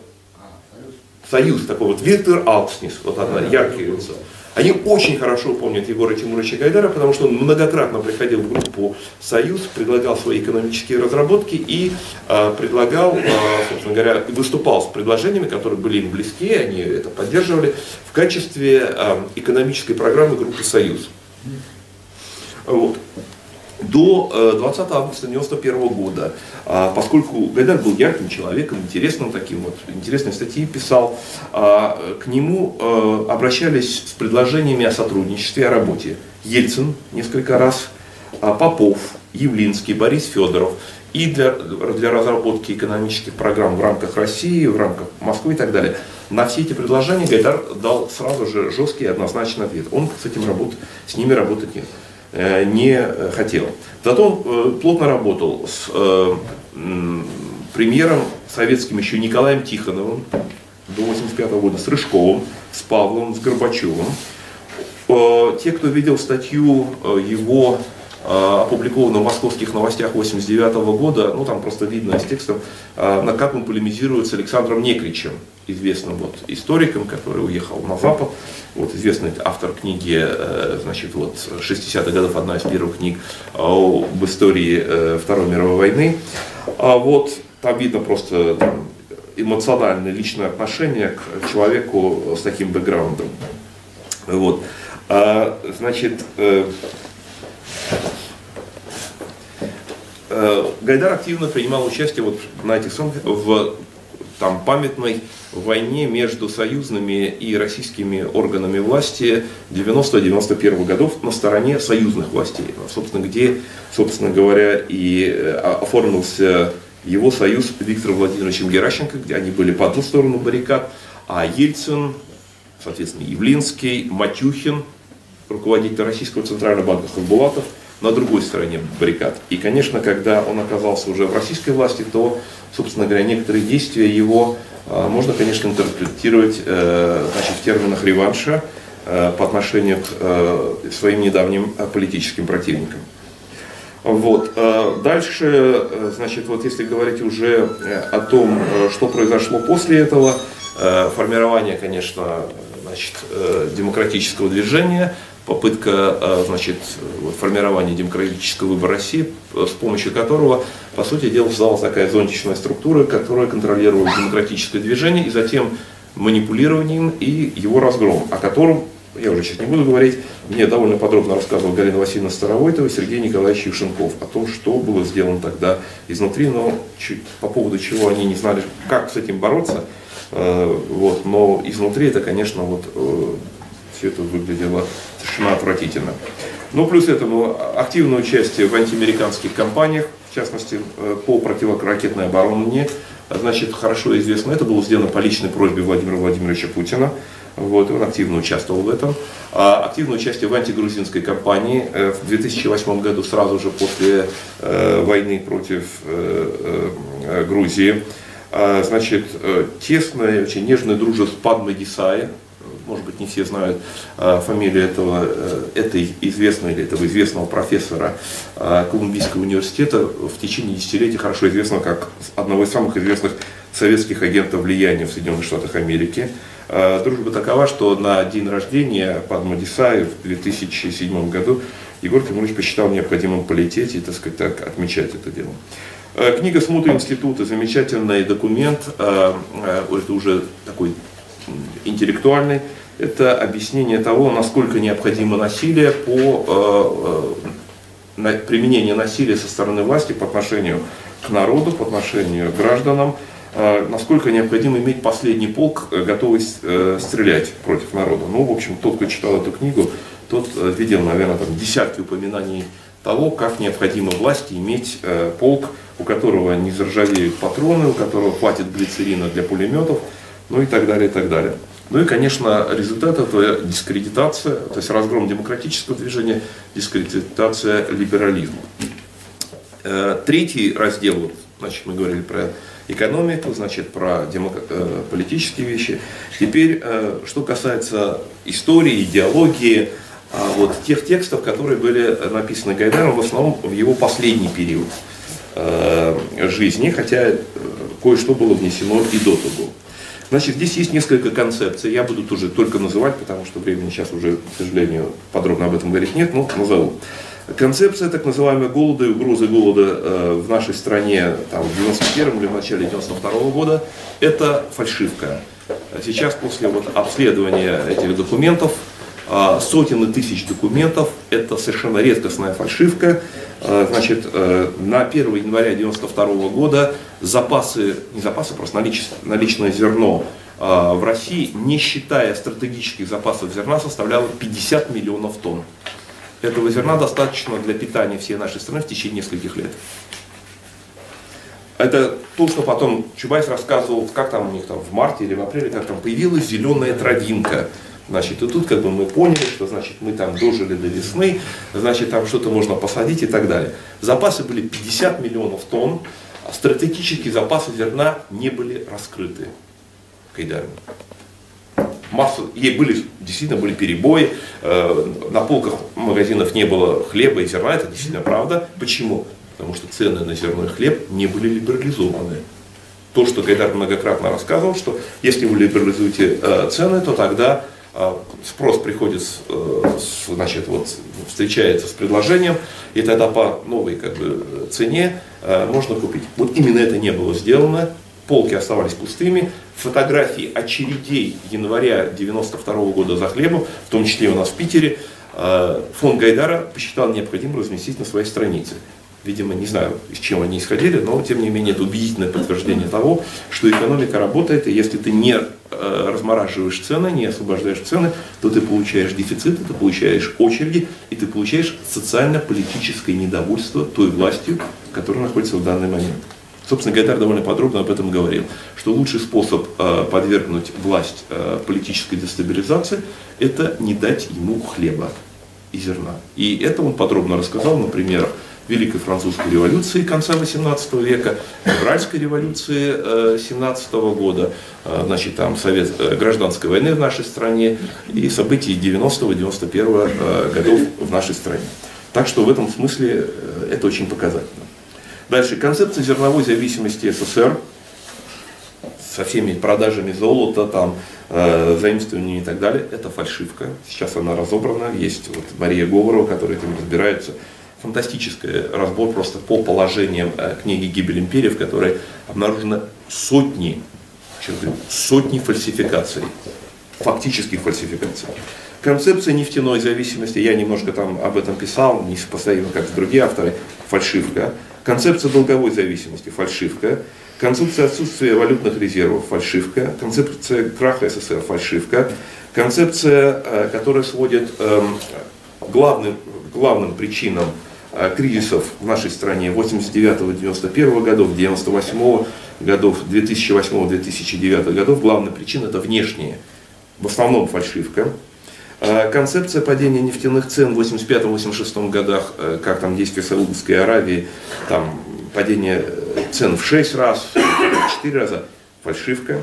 А концепция а, разрушения СССР э, в виде осуществления операции ЦРУ против СССР по книге Швейцера в английском варианте Виктория у нас она, по-моему, опубликована под названием «Стратегия развала СССР». А, это фальшивка. Концепция краха Испанской империи в 17 веке, собственно, концепция изначально написанная Владимиром Мао, затем заимствованная Гайдаром в его книгу «Гибель империи», многократно воспроизведенная фальшивка, тоже про это написано. В целом, конечно, это достаточно успешная примитивизация и профанация такой вот истории страны, конечно, э, до уровня такого детского сада. Но тут же надо отметить, объективно отметить, что э, это, это, вот эти все эти концепции, несмотря на то, что они абсолютно не обоснованы, они имели исключительный успех по распространению, закреплению сознания российских граждан. Если вот так вот просто провести там опрос или спросить, а, значит, почему рухнул Советский Союз, значит, какова роль там нефти, падение цен на нефть, доходов, зерновой зависимости, подавляющее большинство образованных, интеллигентных э, граждан, там, скажем так, в широком смысле этого слова, либерально настроенных людей воспроизведут в том или ином виде концепцию Гайдара, которая была распространена вот за последнее время. И с этой точки зрения надо признать, успех вот этой, вот, этой, вот этой концепции, вот этой кампании беспрецедентный. И тут надо отдать должное автору, который, вне всякого сомнения, талантливый, творческий человек, который добился невероятного, э, невероятных э, результатов. Значит, ну, Эту часть я пока что сделан для себя и института оставим. Значит, и остается, собственно, самый главный вопрос. Вот как вот это все можно объяснить? Значит, у меня здесь есть несколько тезисов, как это можно объяснить, да, но я для сохранения некоторой интриги, mm-hmm. я сейчас это говорить не буду. Давайте лучше мы начнем э, то, что вы объявили, с вопросов, комментариев э, наших коллег, с обсуждения. Если к этому возникнет значит, интерес, э, то мы к этому вернемся. Вы хотите на финал, на десерт это или в какой-то момент? На десерт. Как решить? А, Отлично. Там, Отлично. Э, дорогие друзья, ну тогда будем считать, что первую часть доклада сегодняшней встречи мы завершили. Давайте тогда вопросы, потом уже выступление. Тогда поднимайте руки, я буду модерировать ваши вопросы. Хорошо, Павел, пожалуйста. Про статьи Гайдара, а они где-нибудь лежат вообще в открытом виде? Что? Статьи Гайдара в коммунисте и правде. Да, лежат. Лежат они, э, опубликованы, они сейчас на разных сайтах там лежат. А, вот, э, ну я не знаю, я просто вот, вот там скачал, они есть. Ну, ну, просто, вот собрание сочинений выходит, да? Собрание сочинений, сейчас вышло уже два тома. Нет, ну они, видимо, все будут опубликованы ага. со временем, да. Но, Ранние э, работы, я имею в виду. Они там ну, должны быть, наверное, должны быть. Нет, это все будет, но просто там не каждый будет покупать там эти собрания сочинений, там, по каждый том по тысяче рублей. Это, в общем, не для каждого э, такое удовольствие. Что? На антресолях. Вот. Но если вот вы мне там напишите, я там просто там ссылки дам тогда линки. А, вот. Если вас это интересует, то, конечно, дам. Окей, тогда еще вопросы? И, может быть, даже сделаю специальный пост, потому что на самом деле э, вот в рамках э, этой дискуссии говорит, все ли плохо было в Гайдаре. Я специально тогда вот, Павел, э, вот, пометую ваш вопрос, сделаю пост, что мне нравится. Мне нравятся ранние статьи Гайдара. Угу. Окей. Так, пожалуйста, следующий вопрос. Спасибо за доклад. У меня короткий вопрос, но то, что называется с категорией по большому счету. Вот когда проводятся некоторые оценки этих событий или деятелей, всегда очень важен размер масштабирования, да, масштаб который. И в этом смысле можно сказать, что вот вы превзошли сегодня, например, Путина. Он сделал что? Послание он зачитал День Конституции. Да? Э, пресс-конференцию провел день рождения своей любимой так сказать, организации ВЧК. Андрей Илларионов выступил э, в институте Хайека в день, на который был назначен конец света. И вот если мы... Да, мы специально выбирали с Павлом именно этот день. Вы догадались. Я просто к тому, что можно и такую провести аналогию. А вопрос у меня такой. Вот, э, активные сторонники, ближайшие Гайдара говорят, что тогда были реформы, да? Они были нужны. И на знаменах этого движения было написано, что свобода, демократия, рынок, э, гражданское общество, право. Теперь прошло время, и мы видим, что ни свободы, ни права, ничего нет. Ну, в том понимании, которое есть. Так, исходя из этого, можно ли назвать вот это, все эти мероприятия или все эти акции реформами? Или это был какой-то другой смысл? Угу. Значит, по поводу того, что было написано на знаменах. У разных людей, у разных сил, на знаменах было написано разное. Вот у группы «Союз» там было другое написано. Просто надо давать себе отчет. Значит, если посмотреть э, вот, на работы Гайдара, на его выступления, и того периода, кстати говоря, более позднего времени, почти все, там, с некоторым исключением потом, а, там на знаменах был написано «рынок». Там нет слов «свобода». Там нет слов «демократия». Первый раз слово «демократия» появляется, когда он описывает 20 августа 91 года, или там 19 августа 91 года, когда он говорит, что вот там, значит, путь случился, и тогда мы пишем, там, вот он рассказывает о том, как мы собрались в Институте экономической политики, там, экономический, тот, который стал потом на экономические проблемы переходного периода, который сейчас носит название Институт Гайдара, говорит, и мы пишем документ и направляем в демократические газеты. Кстати говоря, тоже очень показательно. То есть, как бы отделение, это не наши газеты, другие чьи-то какие-то демократические. Мы никогда с этим не имели дела. Это впервые появление вообще, так сказать, демократов, демократических сил. С этим никакого отношения нет. Там нет разговора про право. Наоборот, все, что делалось непосредственно им, и, так сказать, тогда вот правительством, с коллегой Чубайсом и так далее, не имеет никакого отношения к праву. Можно сказать, совершенно откровенное, циничное издевательство над элементарным правом, даже советским правом по тем, по тем меркам. Это уже потом, гораздо позже, вот в 2000-х годах, даже в конце 2000-х годов, начали говорить, да, вот нужна там правовая система, там гражданское общество и так далее. Кстати, слово «свобода» так и не появляется. А если, например, посмотреть, я не к тому, чтобы там защищать Явлинского, но вот я просто специально там перечитал уже свежим взглядом его программу 500 дней, там 400 дней и так далее. Они начинают просто с главы. Главная задача – свободное общество. Создание системы свободного предпринимательства, создание э, равных прав для экономических субъектов, создание правовой системы и так далее. Я, честно говоря, я признаюсь, я тогда как бы на это так не обращал внимания. В этом смысле, как бы у меня есть свой, так сказать, вина в том, что, по крайней мере, тогда я не обращал на это достаточно внимания. Но вот видно, насколько принципиально разные подходы Видно, что Явлинского тогда еще, собственно говоря, это 89-90-е годы, когда он пишет эти вещи, там первая глава говорится именно с этого, со свободой и справа. И потом дальше начинается, а дальше мы будем делать там э, экономические реформы, такие сики и так далее. Значит, не в работах Гайдара, и я, в общем, достаточно хорошо помню как бы наши семинары, вот на семинарах э, синтеза о свободе, демократии мы говорим, там по-разному, и, естественно, о рынке говорим. А вот на семинарах Института экономической политики с, э, с Гайдаром. Про это разговора не было. Про рынок говорили. Собственно говоря, это отражает как бы очень важную часть мировоззрения. Задача его заключалась в том, это, кстати, позиция была э, значительной части такой продвинутой советской номенклатуры, такой государственной номенклатуры, номенклатуры спецслужб, маркетизировать советскую систему, отказаться от наиболее одиозных идеологических э, элементов, связанных там с коммунизмом, с коммунистической партией, там, с каким-то Полосковым. Да, вот, это, вот этот, этот мусор, эту шелуху надо убирать, но надо сохранять вот эту государственную систему и подвергнуть ее рыночнизации, маркетизации и монетизации. И если действительно посмотреть на то, что делалось, именно это и делалось. Сохранение вот той самой государственной системы и под, как бы, включение ее в рыночный оборот и внутри страны, и, так сказать, в мировой системе. Так что с этой точки зрения, если посмотрите, вот там его все работы, говорит, наша задача рыночной реформы. Там никогда не говорилось, наша задача создать свободное общество. И наша задача создать демократическое общество. Все, что касалось там съезда народных депутатов Верховного Совета, это ни в коем мере, никакая, какая там демократия. Там это ни одно слово там с депутатом э, Верховного Совета съезда народных депутатов не упоминается даже в нейтральном ключе, не говоря уж позитивном.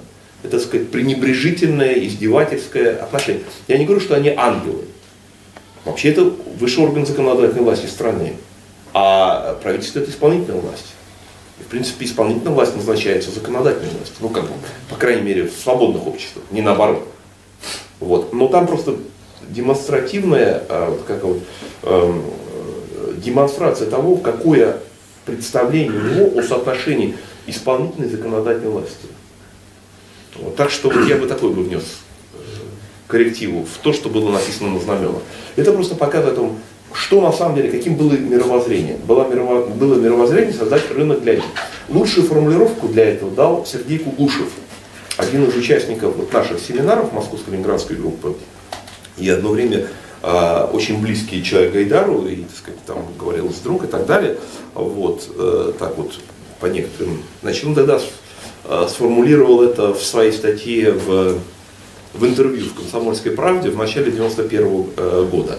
Говорит, наша задача, формулировал, это союз, сейчас попробую воспроизвести нам максимально близко к тексту, в общем, союз, э, значит, союз патриотической номенклатуры и продвинутых спецслужб. Вот, что-то вот близко к этой формулировке. И, значит, для проведения рынка, для э, вот, осуществления рыночных реформ, для э, значит, создания рынка в нашей стране нужна э, исключительно сильная политическая власть, которой в наших условиях не может быть ничто другое, кроме как союза патриотической номенклатуры и продвинутых спецслужб. Вот что-то вот, вот такая вот идея. И именно вот эта вот концепция, она и действительно была реализована. Так, ну что, друзья, кто еще хочет задать вопрос, поднимайте, пожалуйста, руку. Вначале Вячеслав, потом Андрей, хорошо? Пожалуйста. Подробнее можно про взаимозасчет? Кажется, сейчас постоянно возвращается. Допустим, Геращенко не пришел. Мотив не справился с проблемой неплатежей. Как могли развиваться события? Значит, я сейчас бы вот не хотел бы там вот э, а, обсуждать, значит, получилось бы, не получилось бы, кто бы что бы сделал. Это серьезный вопрос, это как бы требует большого разговора. В данном случае мне, вот, как бы в данном случае, ну я не знаю, как э, там, ну я не профессиональный историк ни в коей мере, но мне важно было как бы понять, кто был инициатором проведения взаимоотчетов в 1992 году. Значит, первый документ – это совместное постановление – российского правительства и Верховного Совета Российской Федерации, э, вышедшая в мае 92 года, сейчас не помню какого числа, значит, подписанная со стороны российского правительства Егором Гайдаром, со стороны э, Верховного Совета Сергеем Филатовым. Он тогда был первым заместителем руководителя Верховного Совета. Значит, в котором формулируется необходимость проведения взаимозачета Затем было несколько еще документов правительства, подписанных Гайдаром по проведению замочета уже отдельно им. Затем был выпущен указ президента Ельцина о проведении взаимозачета, если не память изменить, по-моему, 3 июля 1992 года. Геращенко еще нет в, э, в Центральном банке. Геращенко был утвержден э, ИО э, руководителя Центрального банка, если не память не изменяет, 17 июля 1992 э, года. То есть все основные документы по проведению взаимоотчета были приняты, э, значит, при, приняты, выпущены до прихода Геращенко э, в Центральный банк. И более того, там вот э, Хазбулатов вспоминал, я его проинтервьюировал, я, честно говоря, взял интервью целого ряда людей, вот, потому что там некоторые вещи как бы мне вызывали сомнения, как это происходит. И когда люди там с другой стороны, там показывается, что вся история была совсем другой, не той, какая э, описана Гайдаром в его книжке «Дни поражения и побед» или в ее многочисленных интервью. Там все было по-другому. Вот. И, э, собственно говоря, э, значит, там вот, э, ну вот и, и рассказывается, что потом вот пришел, да, и когда э, Геращенко, значит, э, вот в июле э, Гера, Хасбулатов вынужден был уступить давлению со стороны Ельцина, он говорит, говорит для меня, передо мной стояла проблема, как провести Геращенко в Верховном Совете. Потому что Верховный Совет 92 года это еще, значит, э, вообще демократический, там как бы все демократические мотивы, а Геращенко человек Советского Союза, то есть главный банкир СССР, и значит там просто все смотрели на него волком. И говорит, что в июле 92 года а, Геращенко в принципе не мог быть утвержден Верховным Советом. Поэтому я, говорит, взял грех на душу, я его провел решением Президиума Верховного Совета. И поэтому, поскольку это был только Президиум Верховного Совета, это, я не мог его утвердить, был только исполняющим обязанности. И только уже к концу 92 года, когда уже, значит, там была полыхала гиперинфляция, когда уже, так сказать, возникло и очень усилилось раздражение двух сторон, двух ветвей власти, а, депутатов с одной стороны, правительства с другой стороны, когда уже было такая вот, уже переход такой к э, холодной гражданской войне, которая потом выльется в горячую, только в этих обстоятельствах в декабре, э, по-моему, 92 года Геращенко был утвержден Верховным Советом э, в качестве полноценного руководителя Центрального банка. Так, э, следующий. Да, пожалуйста, Андрей Ильич. Ну, вот такой будет вопрос. Андрей Иванович, ради бога, сидите, пожалуйста. Ну да, что, нет, не ну, нет, так ну, уж, что. мне удобнее, если позволите. Значит, представим себе, также в рамках альтернативной истории, на Западе очень модно такие построения, что вот какой-то волей случая, допустим, Ельцин предложил там, в ноябре 91 года возглавить правительство Борису Федорову. А история России была бы другой, или она осталась бы вот такой же примерно, какую мы имеем сейчас? Могу точно сказать, конечно, была бы другой. Я, я могу сказать почему, на самом деле. Это, это вот просто это действительно совершенно ясно, почему. Вот давайте вспомним, э, вот просто такой момент, э, 99 год. 99 год, э, август, назначение нового премьера. Да? Помните, когда Борис Николаевич Ельцин внес эту кандидатуру, что сказали депутаты ФИГА? Что? Кто? Как? Кто это? Откуда? Чего? Тогда никто не знал этого человека. Вообще никто не знал. Просто вообще никто этого не знал. То есть даже в 99 году, в августе 99 года, а, эта кандидатура рассматривалась значительной частью там, политически активного там, элиты, там, не знаю, кто понимаешь, как совершенно неожиданное, сказать, вот, кто не рассматривал, там, это, не, это там не э, Лужков, это там не Примаков, там, не кто-то другой. То есть даже тогда, если бы э, в 91 году, например, э, в руководителем там, финансово-экономического блока оказался бы Федоров, то произошло бы то, что он сделал в 93 году. Просто вот я вот видел кратчайшего расстояния, потому что вот весь 93 год фактически э, я провел больше, сказать, у него в кабинете, там обсуждая разные вещи, чем э, там в других местах. Он, собственно, сделал финансовую стабилизацию. Это означает, что 92 год был годом финансовой стабилизации. Конечно, там был, была бы вспышка инфляции. Это было неизбежно. Но она не носила бы характер 26 раз, как оно было на самом деле. Ясно, что было бы, э, инфляция была бы, скорее всего, после 92 -го года была бы понижена, и мы там с 93 -го года вышли бы там, не знаю, там, может быть, 15% в год, 20% в год. И это означает, что мы бы пошли по пути, по которому пошла Польша, по которому пошла Чехия, по которому пошли другие э, центральноевропейские и балтийские государства. И экономический рост у нас начался в 1994 году. Он на самом деле начался в 1994 году. Даже по нашим вот данным, вот это видно, промышленный рост начался в конце 1994 года, продолжался 4 или 5 месяцев. И этот экономич... э, промышленный рост, который начался, был сломан валютным коридором имени товарища Чубайса по рекомендации э, Гайдара и Стэнли Фишера. Просто вот статистика она дает. То есть даже, даже в наших условиях экономический рост начался. И вот этот валютный коридор, он, собственно, продлил нашу депрессию или там наш великий экономический кризис еще на 4 года. С 95 по 98. То есть, если бы был бы Федоров, если был бы Наявлинский, у нас гарантированно в 1994 году начался бы экономический рост. То есть мы бы пошли бы по центральноевропейскому или балтийскому варианту. К тому времени, просто, можно сказать, не было бы экономически разрушен так вот, как бы фундамент тех демократических сил, которые э, поддерживали вот это демократическое движение конца 80-х, начала 90-х годов. Потому что, значит, вот если посмотреть по э, бюджетной политике Гайдара 92 -го года, этого не делал даже Черномырдин. Значит, если просто вспомнить, вот основная как бы вот политическая сила там конца 80-х, начала 90-х годов, это там не кооператоры, там не бизнесмены, их там были единицы. Основная это была такая интеллигенция, разная интеллигенция преподавательская, э, образовательная, там, медицинская, творческая, а, там разная интеллигенция, свободных профессий. Они составляли основные вот, э, группы населения, которые выходили на эти манифестации, на митинги, которые поддерживали межрегиональную депутатскую группу и так далее.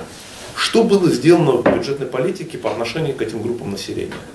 Значит, если посмотреть, как изменились э, финансирование, ни одна другая группа населения не подверглась такой жесточайшей финансовой, бюджетной, сер- я даже не знаю, там, вивисекции, или не знаю, какие термины надо применять, потому что падение зарплат в бюджетном секторе для интеллигенции был самым катастрофическим. Никогда такого не было.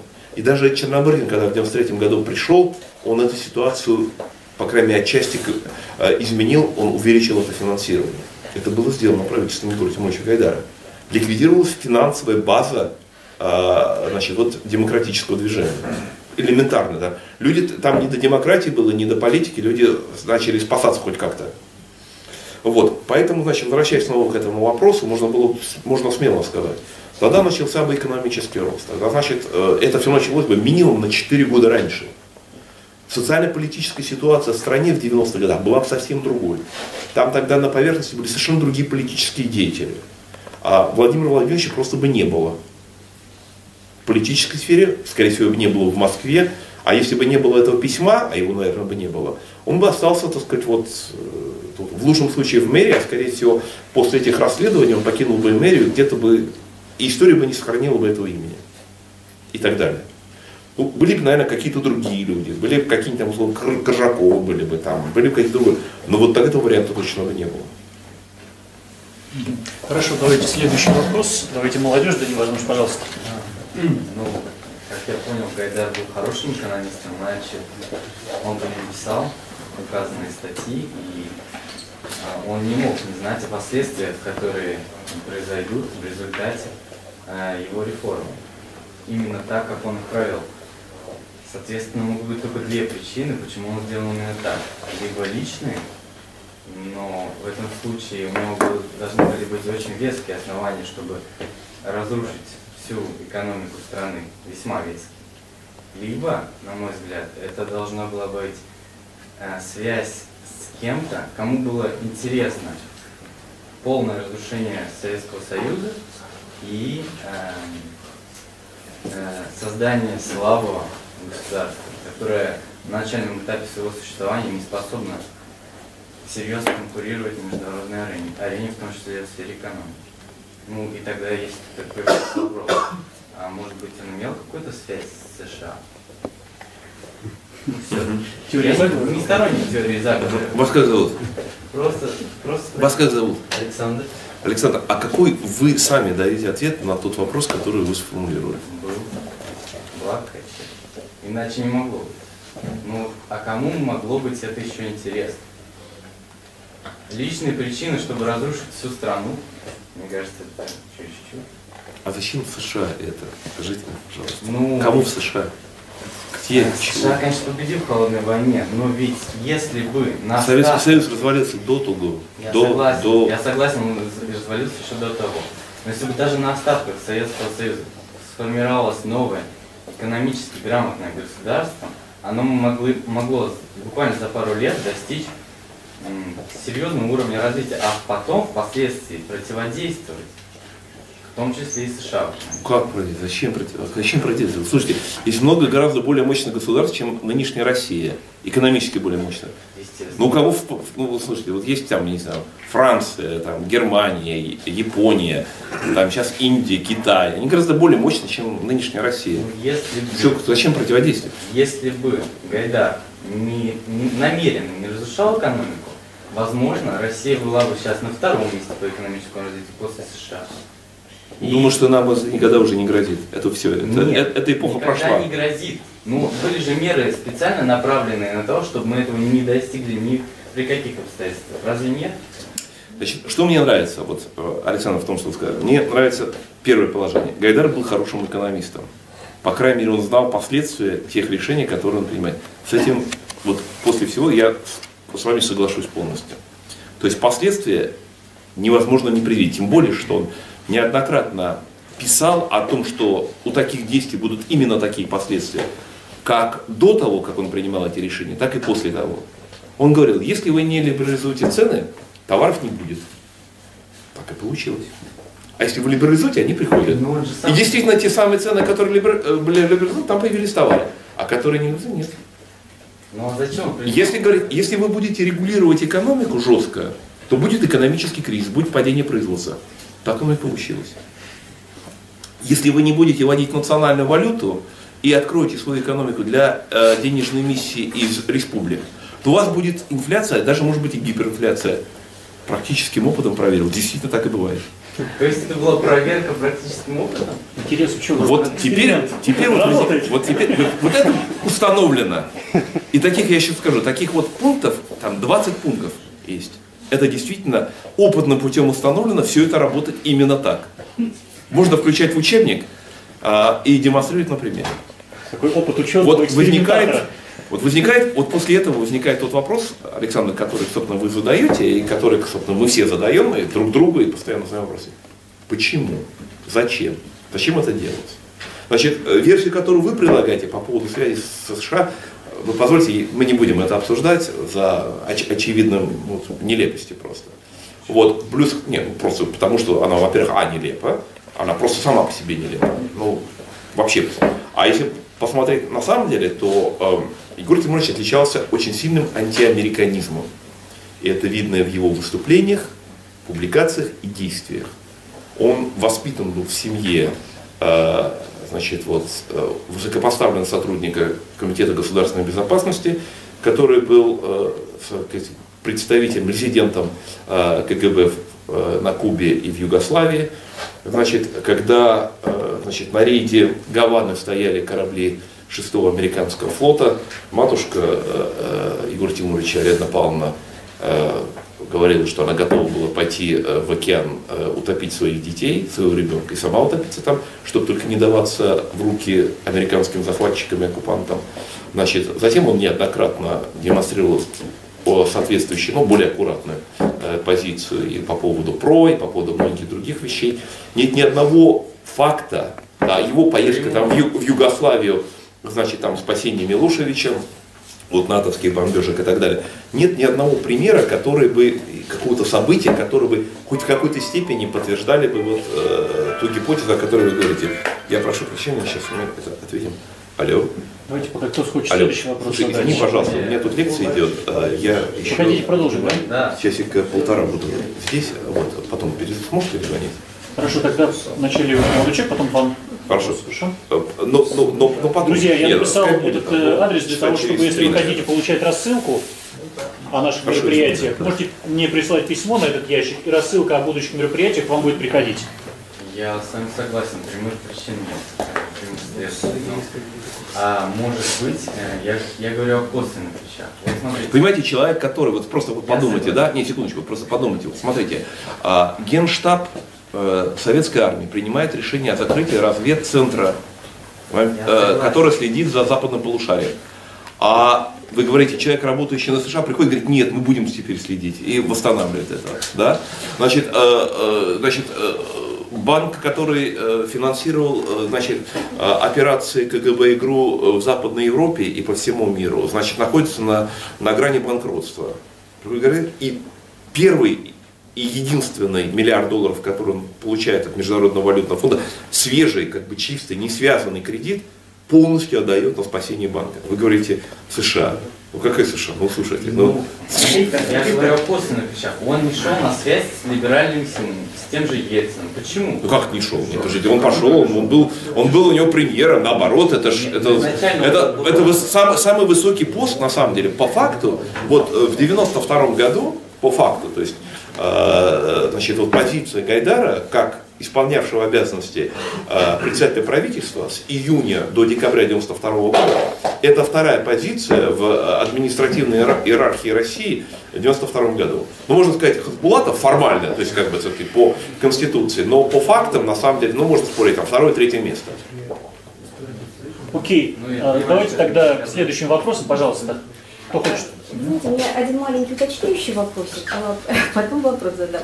Вы говорили про то, что э, в 91 году Гайдар э, истратил какую-то большую сумму на национализацию шпального производства. Нет, не тратил, не тратил, он просто принял решение. Вот По- вы по решили, письмам а в какой собственности это было в 91 году? Это Нет, понимаете, в чем дело? Нет, там не так. Там, там, значит, э, понимаете, это же был процесс перехода от одной системы к другой. Когда я говорю национализация, там просто вот, ну, предприятия были, да, то есть предприятия там устанавливают, что-то они там продают э, по там, госзаказу, что-то там по кому-то другому, что-то они продают на формировавшийся уже тогда рынок. Значит, вот на конец 91 года там порядка, по-моему, 40% продукции уже продавалось э, на свободном рынке. Это распоряжение устанавливает жесткие режимы, что значит все э, производство шпал, и все производится исключительно по государственным там, э, заказам и по государственным командам. Это удивительный документ, такого простого документа нет. То есть, если бы этот был документ принят, там, не знаю, в 37 или в 39 году, это как бы нормально, это как бы, это, вся экономика была такая. Но в декабре 91 года причем уже принято там для серии решения. Со 2 января будут либерализованы, но не все цены, но многие цены. Значит, объявлена там либерализация внешнеэкономической деятельности. И вот с точки зрения знамен, вот спрашивал коллега, действительно, э, на знаменах-то был написан рынок, это тут точно. Права не было, там гражданского общества не было, демократии не было, но рынок был. И всем было ясно, что, значит, ну еще там последние пару дней, и дальше уже начинается рыночная экономика. И дальше что происходит? А вот при этой рыночной экономике шпальное производство под моим контролем. И, ну, как бы это уже в вашей дискуссии, что э, по поводу давления. Но вот говорят же, что психолог сам себе не психолог. Он очень хорошо знает теорию, да, но в частной жизни поступает иногда странным образом, себе во вред. Сапожник и сапог. Да. А, возможно, без, ли без в, экономики. Да, возможно ли в этой ситуации, что Гайдар очень хорошо понимал и действия, и последствия этих действий, и до своего назначения, и после отставки, а вот в процессе, пока он был на этом посту, Э, ну вот как бы вот это давление внешнее и всякое другое не позволяло ему совершать какие-то правильные поступки и толкало угу. каким-то неправильным. Угу. Вас как зовут?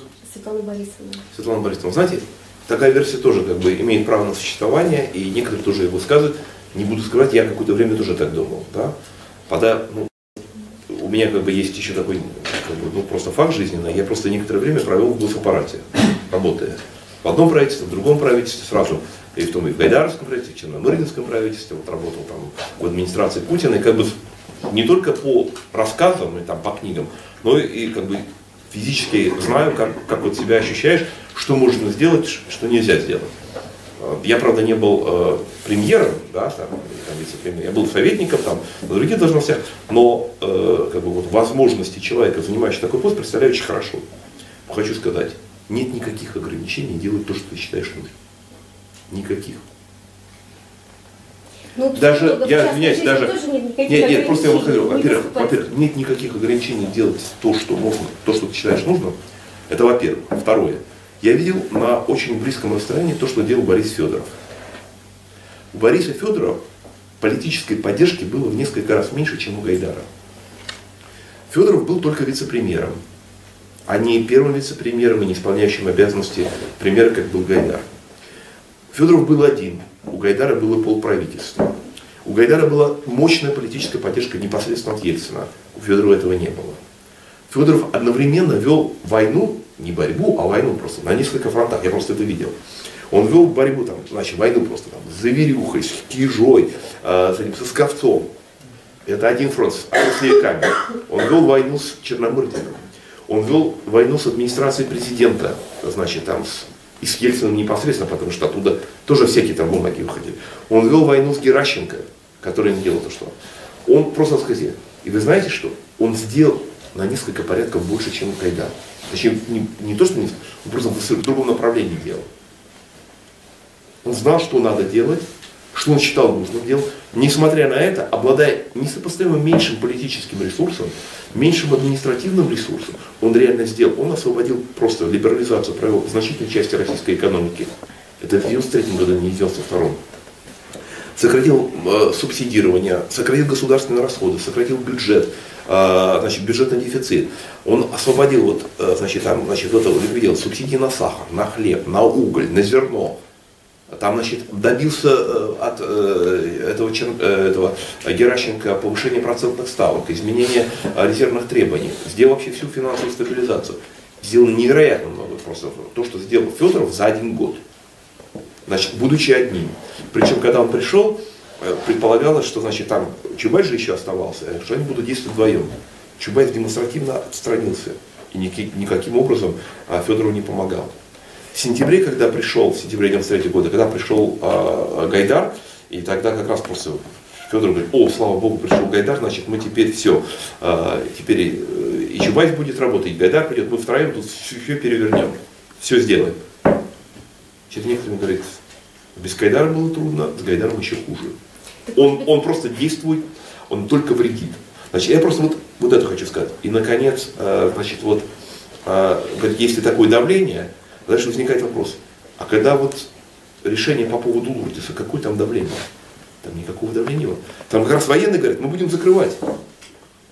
Военные, разведка говорит, у нас нет денег, нам это не нужно. Что сделал, между прочим, Путин? Вот это парадокс. Э, полковник КГБ закрыл базу Лурдис, а либеральный реформатор открыл ее финансирование. Так может, вот просто счастье Федорова, что он был один, а Гайдар был в большой команде, а как... Э, ну, ну то есть, чем больше, тем хуже. Ну, получается, да. Конечно, да. Окей, давайте тогда следующий вопрос, пожалуйста. Вот я, Андрей Владимирович, продолжение вашей речи. Федор был один, за ним никто не стоял. Тем не менее, ему удалось пробить финансовую стабилизацию. Значит, Гайдар был, как вы видите, второй человек в стране. Э, он был против, ну вот вы перечисляли, ключевых решений. Там легализации цен, указ свободы торговли, унификация валютного курса, приватизация, финансовая стабилизация. Сторонники Нет, не против приватизации, только люди, против правильной то есть как приватизации правильным людям. Он был за это, и он проводил ее. Значит, э, против всех, вот вы перечисляли, действий, которые приписываются Гайдару, на самом деле Гайдар был против и противодействовал. Он был второй человек в стране, и эти решения были приняты. Получается, они были приняты вопреки Гайдару. Какие? Ну, вот вы перечисляли, вот я вам говорю, э, либерализация цен, вот я записывал, указ свободной торговли, финансовая стабилизация, там, унификация валютного курса, там, может, я что-то пропустил. Ну, э, вот это вы все перечисляли. Не, я прошу прощения, тут надо уточнить. Значит, смотрите, либерализация цен, не, простите, но либерализация цен на хлеб и на зерно была проведена в 93 году, когда а, значит, э, Гайдар там не мог этому противодействовать. Но... Значит, приватизация была проведена так, как хотел Гайдар и Чубайс. Они так это сделали. Унификация валютного курса была произведена э, Геращенко, как это не покажется странным. Это введение национальной валюты, когда Гайдара не было. То есть вот те меры, как это там, введение НДС со ставкой 28% проводилось Гайдаром, она проведена. А драконовские меры по ограничению торговли на ТП, э, товары народного была проведена так, как, как считалось. Раздача субсидий кредитов, да, была проведена Гайдаром, так оно было сделано. Так что что-то было, то, что хотелось, так, так и было сделано.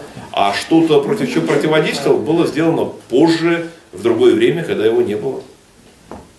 То есть он воспрепятствовал, не, подождите, либерализация цен с 1 или со 2 там, января 92 года все-таки произошла. Конечно, не на все цены, и вы его обвиняете, что он значит, не, не разрешил отпустить цены на нефть и, и зерно, правильно я понимаю? Но на другие цены было. При том, что он этому противодействовал. Я так нет, понимаю, нет, он нет. не хотел либерализовать цены вообще, правильно? Нет, значит, я уже рассказал об этом. Значит, по его плану либерализация цен должна была начаться с 1 июля 1992 года. Да. Когда эта дискуссия развернулась в российском правительстве, значит, Борис Николаевич Ельцин сказал, будет сейчас. Вот. Я про это и спрашиваю. И это касается и других. Вот вы же упоминали приписываемые, неправильно приписываемые Гайдару, там действий, которые были, решения были приняты вопреки воле Гайдара. Он хотел сделать Нет, я этого не сказал. Не Нет, вы в данном случае, видимо, что-то не поняли. Что, пример. Нет, вот еще раз, вы позвольте, значит. 2 января, а не июля, со 2 января 92 года это решение было принято? Значит, по каждому решению надо принимать э, отдельный комментарий. Значит, частичная либерализация цен. Значит, Гайдар предлагал делать с 1 июля 1992 года. Это было проведено со 2 января 1992 года решение Ельцина и Бурбульса. Вопреки воле Гайдара. Ли... Ну подождите, значит, какая вопреки воле? Он там высказался несколько раз, что он этого не хотел, но решение принимает президент. Значит, в том случае Ельцин принимал непосредственное участие в принятии экономических решений, он сказал, будет сейчас. И, естественно, после этого все взяли... Вы позвольте, я закончу. Вы позвольте, я закончу, да? Значит, значит, э, после этого все взяли под козырек и подготовили документы о либерализации цен со 2 января. Либерализация социальной сферы пакет был подготовлен Шохиным еще до того, и поэтому он был принят сразу же, 15 ноября, первым же пакетом. Там тогда еще не было возможности противодействовать. Это зарплату имеете в виду? Э, И, и- и зарплаты, там, и доходов и так далее. Указ о свободе торговли. Он был внесен, подписан Киселевым. Ему противодействовал. После этого была бюрократическая борьба, в результате которой я называл людей, которые выступали за проведение этого указа, которым удалось пробить этот указ. Не в оригинальном виде, но удалось пробить. Это борьба. Я в данном случае, ситуация по каждому случаю индивидуальна. Есть какие-то вещи, которые полностью удалось блокировать, есть какие-то удалось отложить, есть какие-то удалось принять в искаженном виде. Там разные ситуации. Правильно я понимаю, что вот все-таки эти решения были приняты вопреки э, желанию Гайдара. Еще раз говорю, нельзя сказать эти решения. По каждому решению существует конкретная ситуация. Одни вопреки, другие не вопреки, другие искаженные, другие позже. Это, это, я по каждому из них коротко пытался сказать. Поэтому написано просто очень много.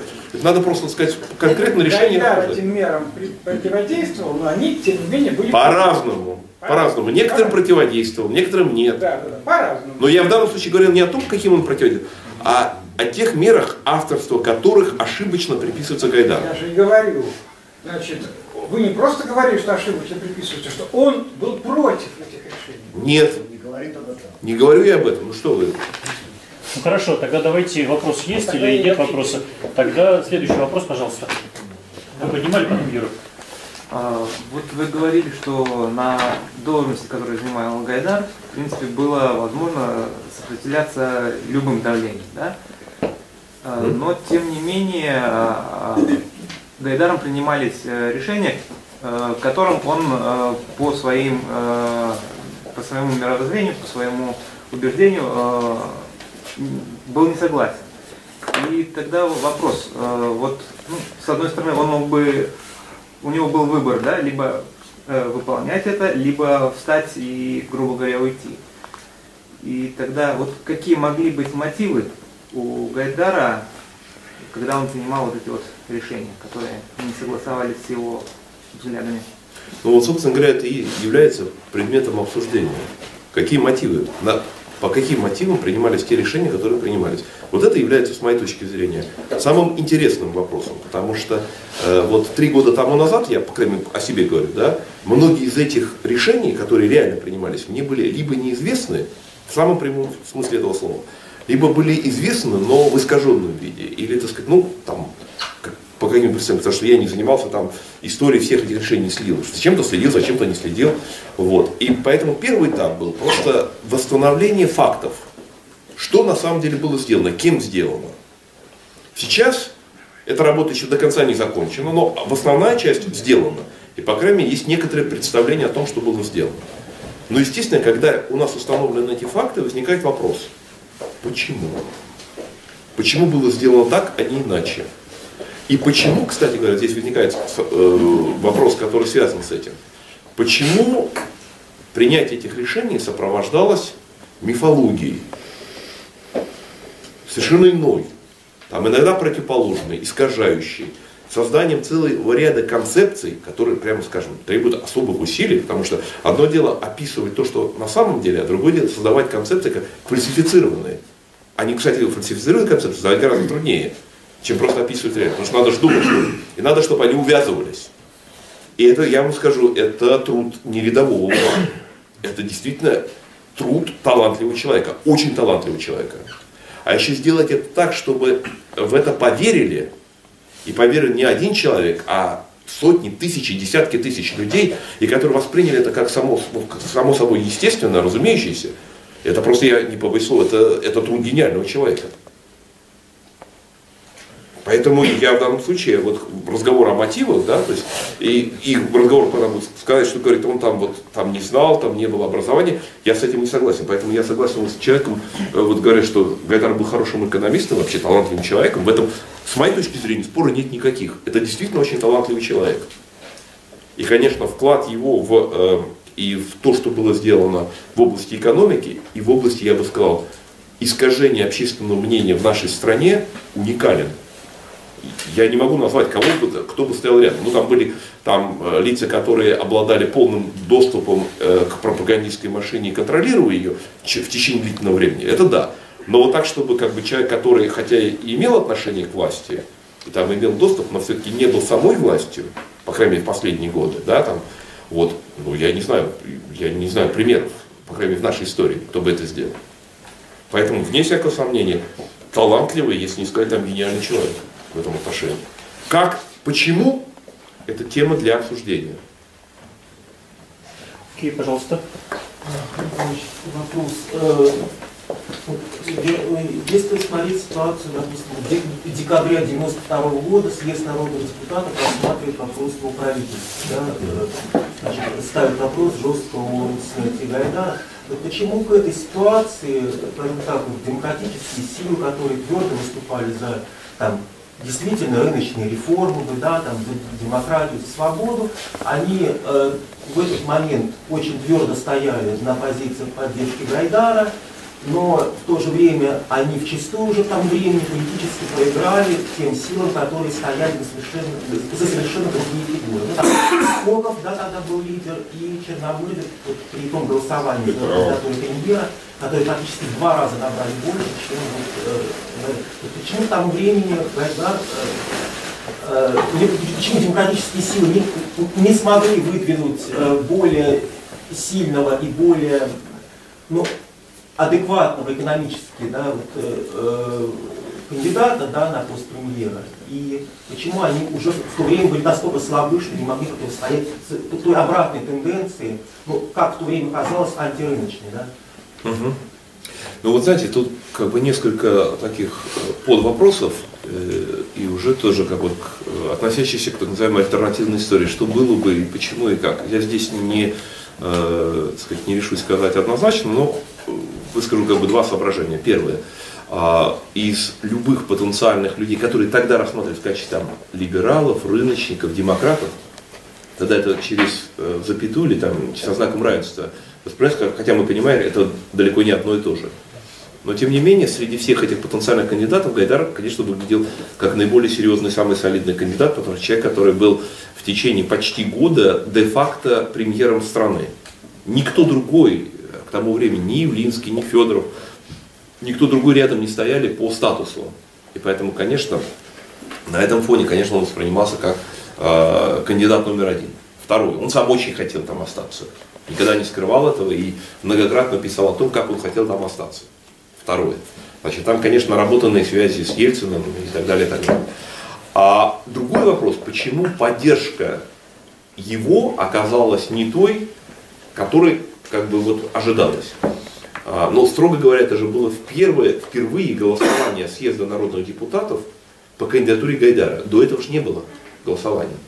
То есть Гайдар же был назначен 6 ноября 1991 года не съездом народных депутатов и даже не Верховным Советом СССР, э, России. Он был назначен указом Ельцина. И по сути дела первое голосование депутатов, то есть вот парламента, а, законодательной власти, представительной власти по поводу исполнительной власти произошло 14 декабря 1992 а, года. Поэтому это было первое голосование, как бы сказать, поддержки, не поддержки.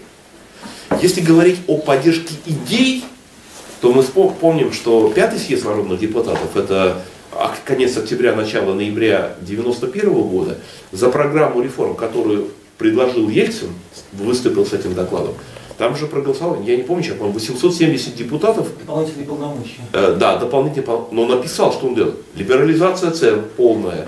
Значит, там освобождение внутри и внешнеэкономической деятельности, введение национального, там же все это описано. Приватизация. Вот все то, что как бы было объявлено, за это, по-моему, 870 депутатов проголосовало за и только 16 против. То есть это был такой, как всеобъемлющая поддержка э, программы реформ. Правда, без кандидатуры премьера. Ну, тогда э, Ельцин сказал, что премьером буду я. Вот, как бы, де-факто он как бы стал премьером, и в течение следующего года де-факто был, то есть, как бы, назначен был премьером он, а потом, значит, как бы на второй позиции вначале был Бурбулис, потом пришел туда Гайдар. То есть депутаты тогда голосовали за программу без лица. А первая возможность голосовать за лицо появилась в декабре 1992 года. И к тому времени даже вот этот в общем, мощный союз вот этих депутатов, можно сказать, какие они там, демократы или там кто они были, но подавляющее большинство депутатов съезда народных депутатов России голосовало за реформы. То, что э, поддержка Гайдара оказалась не такой, какой оказалась, какой была поддержка реформ, программа реформ, говорит о том, что значит, вот этому, этой коалиции, полити, политической коалиции, был нанесен очень мощный удар теми решениями, которые происходили в течение 1992 года той колоссальной инфляции, которая там была, падением производства, прямо скажем, неоднократными обманами парламента. Вот, ну, мы все знаем, значит, вот приватизация, которая про, была проведена, собственно, Анатолий Борисович неоднократно рассказывал, как он, торжествующий, как он обманул парламент с этими самыми законодательством и так далее. Я не к тому, что там, значит, вот приватизационные счета давали там, может быть, безумно там э, эффективную или неэффективную э, систему собственности. Не знаю это надо разбираться, да? Но факт остается фактом. Чубайс откровенно обманул парламент. Парламент не стал собираться во время каникул для того, чтобы это изменить. И поверх парламента, вокруг парламента было проведено важнейшее решение о приватизации, которое, в общем, создало ту там социально-экономическую структуру, которую мы Что должен был чувствовать парламент? Они чувствовали просто себя обиженными, оскорбленными, уязвленными, обманутыми. И спрашивают, с кем? Они-то избранные людьми, избирателями, какими бы они ни были. А кем избран Чубайс? А кем избран Гайдар? Они говорят, подождите, но вы здесь чиновники, назначенные э, указами президента, а мы избранные там, за каждым из нас стоят там сотни тысяч, если не миллионы избирателей. Так дела не делаются. Но вообще, в принципе, в любом там демократическом обществе э, избираются депутаты, дальше депутаты заслушивают, заслушивают э, разных кандидатов своими программами, за то, за другое, там высказывают. Ну, понятно, это парламентский процесс, там есть элементы торга и так далее, и утверждается та или иная кандидатура. Да? Здесь помимо них назначили человека, а затем назначили целый кабинет. Этот кабинет стал делать не то, что они считали нужным. Может быть, они абсолютно неправы, может быть, не так, но это так, вот как бы сказать. Они стали это делать, потом стали обманывать собственно, с первого заседания э, правительства, там, первое заседание правительства 15 ноября 1991 года, стенограмма опубликована. Там же с первого же буквально прошло 9 дней с назначения Гайдара, и, по-моему, 8 дней с назначения Чубайса, Чубайс обсуждает, говорит, как мы обманем парламент. Сходу, сразу. А потом он начинает это реализовывать. Ну как парламентарии должны были к этому относиться? Опять-таки, не в защиту их, но это нарушение каких-то базовых, базовых принципов Э, вот, взаимоотношения между властями. Я уж не говорю там про Лурдис, я не говорю про кредит МВФ, я не говорю про, так сказать, про, э, значит, там банкротство и так далее. Ну, просто по любому методу. И сказать, это мы не будем сообщать парламенту, это мы сделаем по-другому. Вот здесь они там не поймут, мы сделаем это так. Подождите, ну так дела не делаются. Не, если это авторитарная э, там страна, если это авторитарный режим, ну конечно, ну так это авторитарный режим. Хорошо, Может быть, Дмитрий, мы... пожалуйста. Может быть, мы уже заслушаем наших уважаемых коллег. А вот как раз мне хотелось Дмитрию Таевну предоставить да. возможность слова, потому что мне нужно будет скоро бежать да. в Москву, и да. я думаю, было бы замечательно. Да, коллеги, мои извинения. Я действительно влезаю раньше, чем надо, потому что еще, конечно, есть к Андрею Николаевичу вопросы, но просто я в 9 э, должен уйти, завтра с утра уезжать на дорогу. Вот, так что несколько слов, надеюсь, не буду долго э, внимание отвлекать. А, ну, первое, что я хотел бы сказать.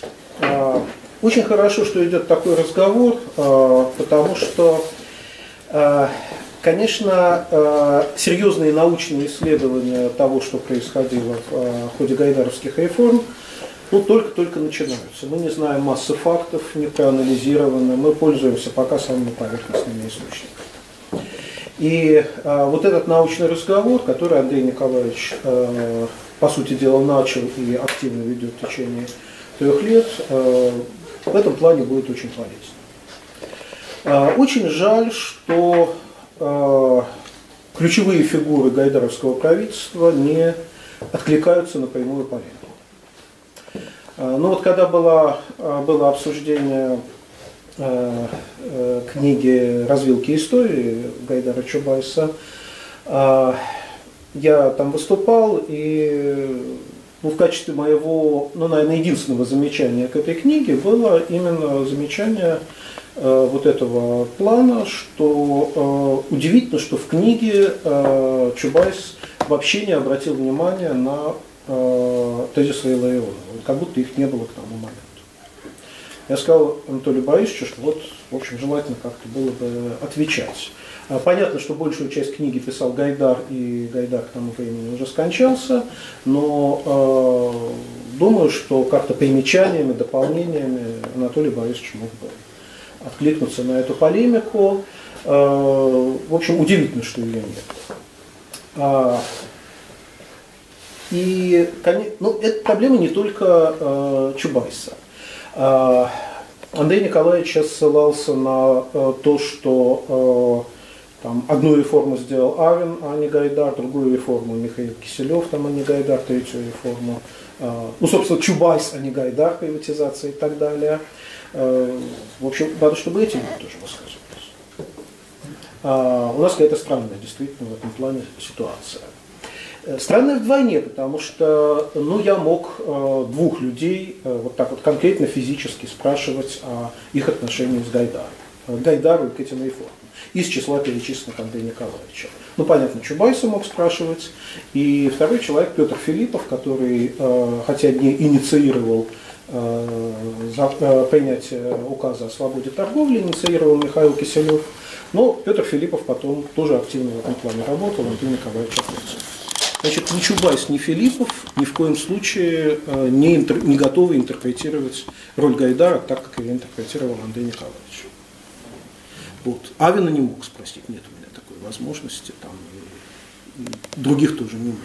Так что вот здесь серьезная полемика, конечно, напрашивается, пока она принимает какие-то странные формы, в общем, не, на, не не, принцип, не научной полемики, хотя аргументы э, действительно научные приводятся, со ссылкой на конкретные факты, но вот мы сегодня э, слышали, Андрей Николаевич ссылался на массу фактов.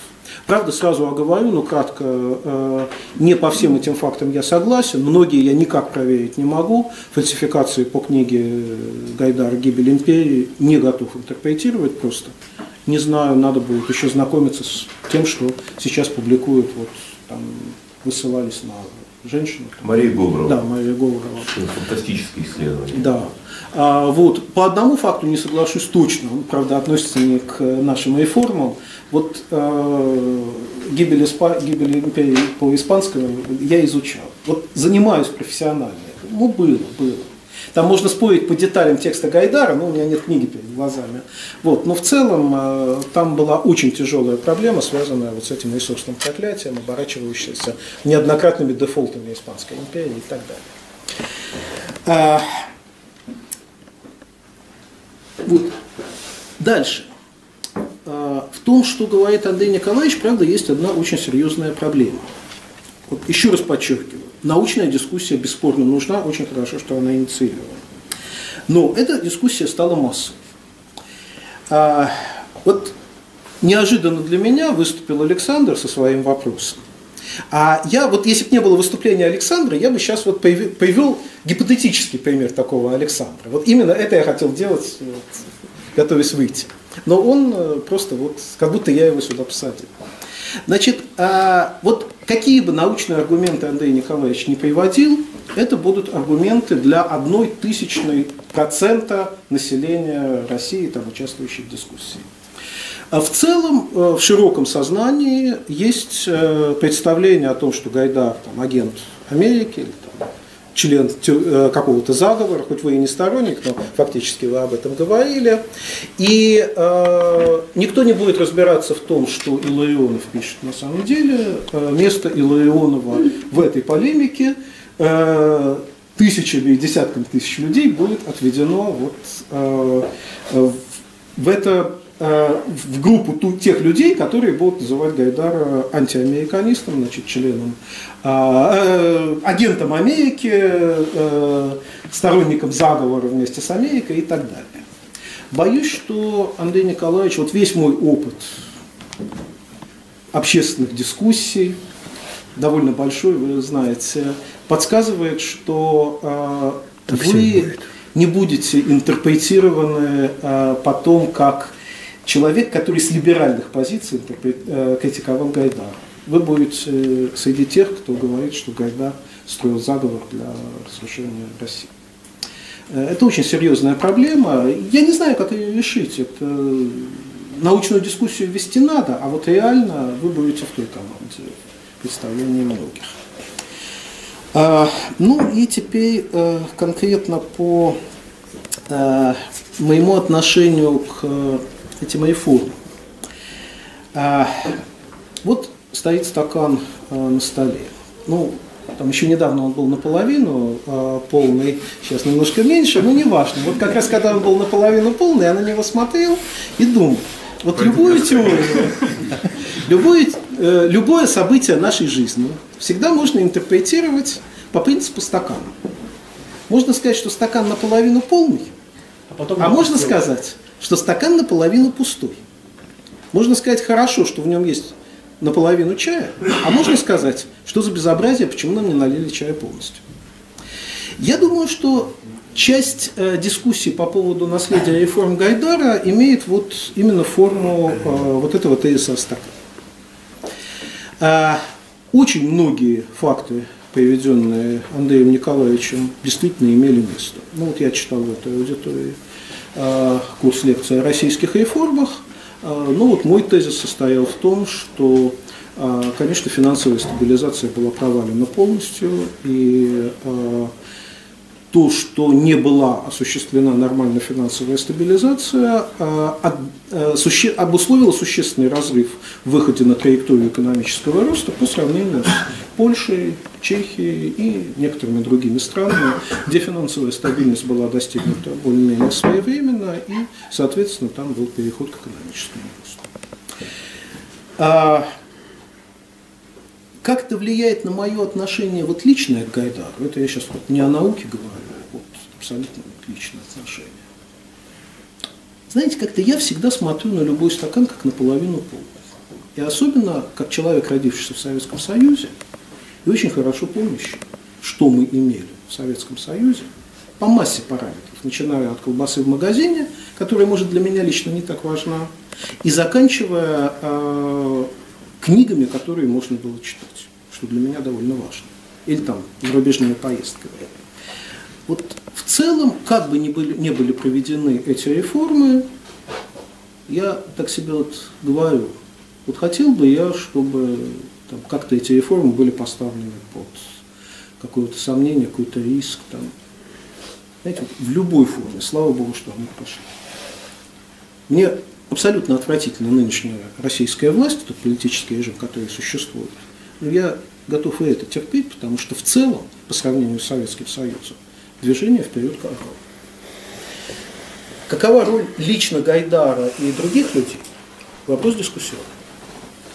Опять же, вот по целому ряду параметров, о которых Андрей Николаевич сказал, надо разбираться. А, значит, по финансовой стабилизации Гайдар полностью провалил, бесспорно. А, что касается роли его э, в принятии э, ключевых реформаторских решений, Э, но опять же, хотелось бы услышать мнение там, и Авена, и всех других. Вообще, в моем понимании, все ключевые решения все-таки коллективные. Вот я никогда лично в своих работах не пытался в правительственных решениях стараться вычленять, вот, кто конкретно подготовил, этот министр или тот. Думаю, что если решения принимались, то за них несут коллективную ответственность. Ельцин, Бурбулес, Гайдар, Чубайс и так далее, все члены правительства. Кто не согласен, уходил в отставку. Глазев в какой-то момент очень четко обозначил, что он придерживается каких-то других взглядов по ряду позиций, там, уходил в отставку и так далее. А, ну и, наверное, Э, самая последняя и главная моя попытка очень кратко ответить на вопрос, э, который Андрей Николаевич поставил. Собственно, вот э, почему позиция Гайдара могла быть такой.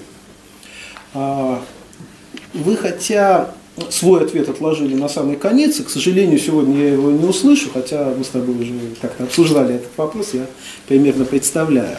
Но, отвечая на чей-то вопрос, вы сказали, произнесли такую фразу – и, по-моему, она на самом деле является ответом. А Гайдар стремился к маркетизации советской системы. Думаю, что он действительно именно к этому стремится.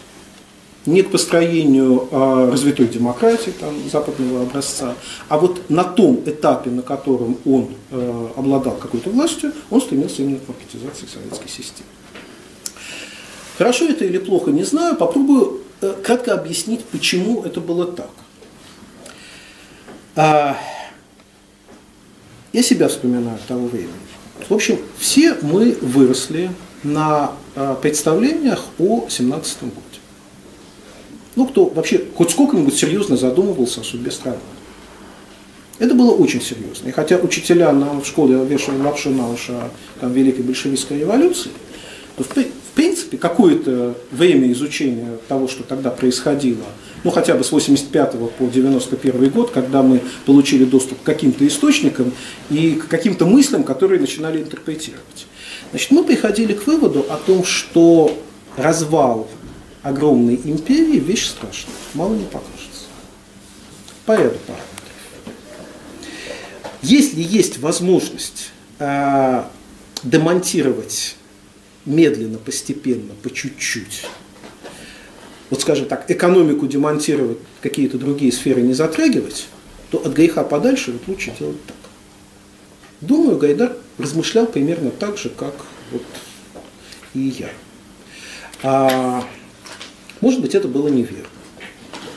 С другой стороны, пример Югославии, которая распадалась примерно в то же время с э, сербско-хорватской, двумя сербско-хорватскими войнами и проблемах, э, известных с геноцидом в э, Боснии и Герцеговине, а, показывает, что распады могли быть гораздо хуже. Вот всего этого Гайдар, наверное, боится.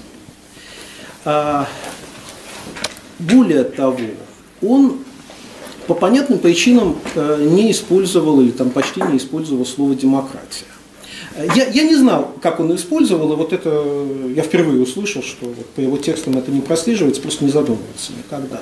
Но когда я об этом услышал, я так подумал, а вот я э, в публицистике активно с марта 91 года. Вот если посмотреть мои статьи 90-х лет, особенно в 91-92, будет ли там слово демократия? Думаю, что нет или крайне редко. Потому что я писал, откликаясь на повестку дня. Моя работа состояла в том, чтобы комментировать экономические проблемы того времени. Чего, надо было делать, то и делал. Слово демократия просто не вписывалось в текст. Если кто-нибудь мне сказал, напиши статью о демократии, написал бы. И, в общем, наверное, мои взгляды были прямо такие же, как сейчас. А, думаю, что в идеале, наверное, Гайдар все-таки видел э, страну демократии западного типа.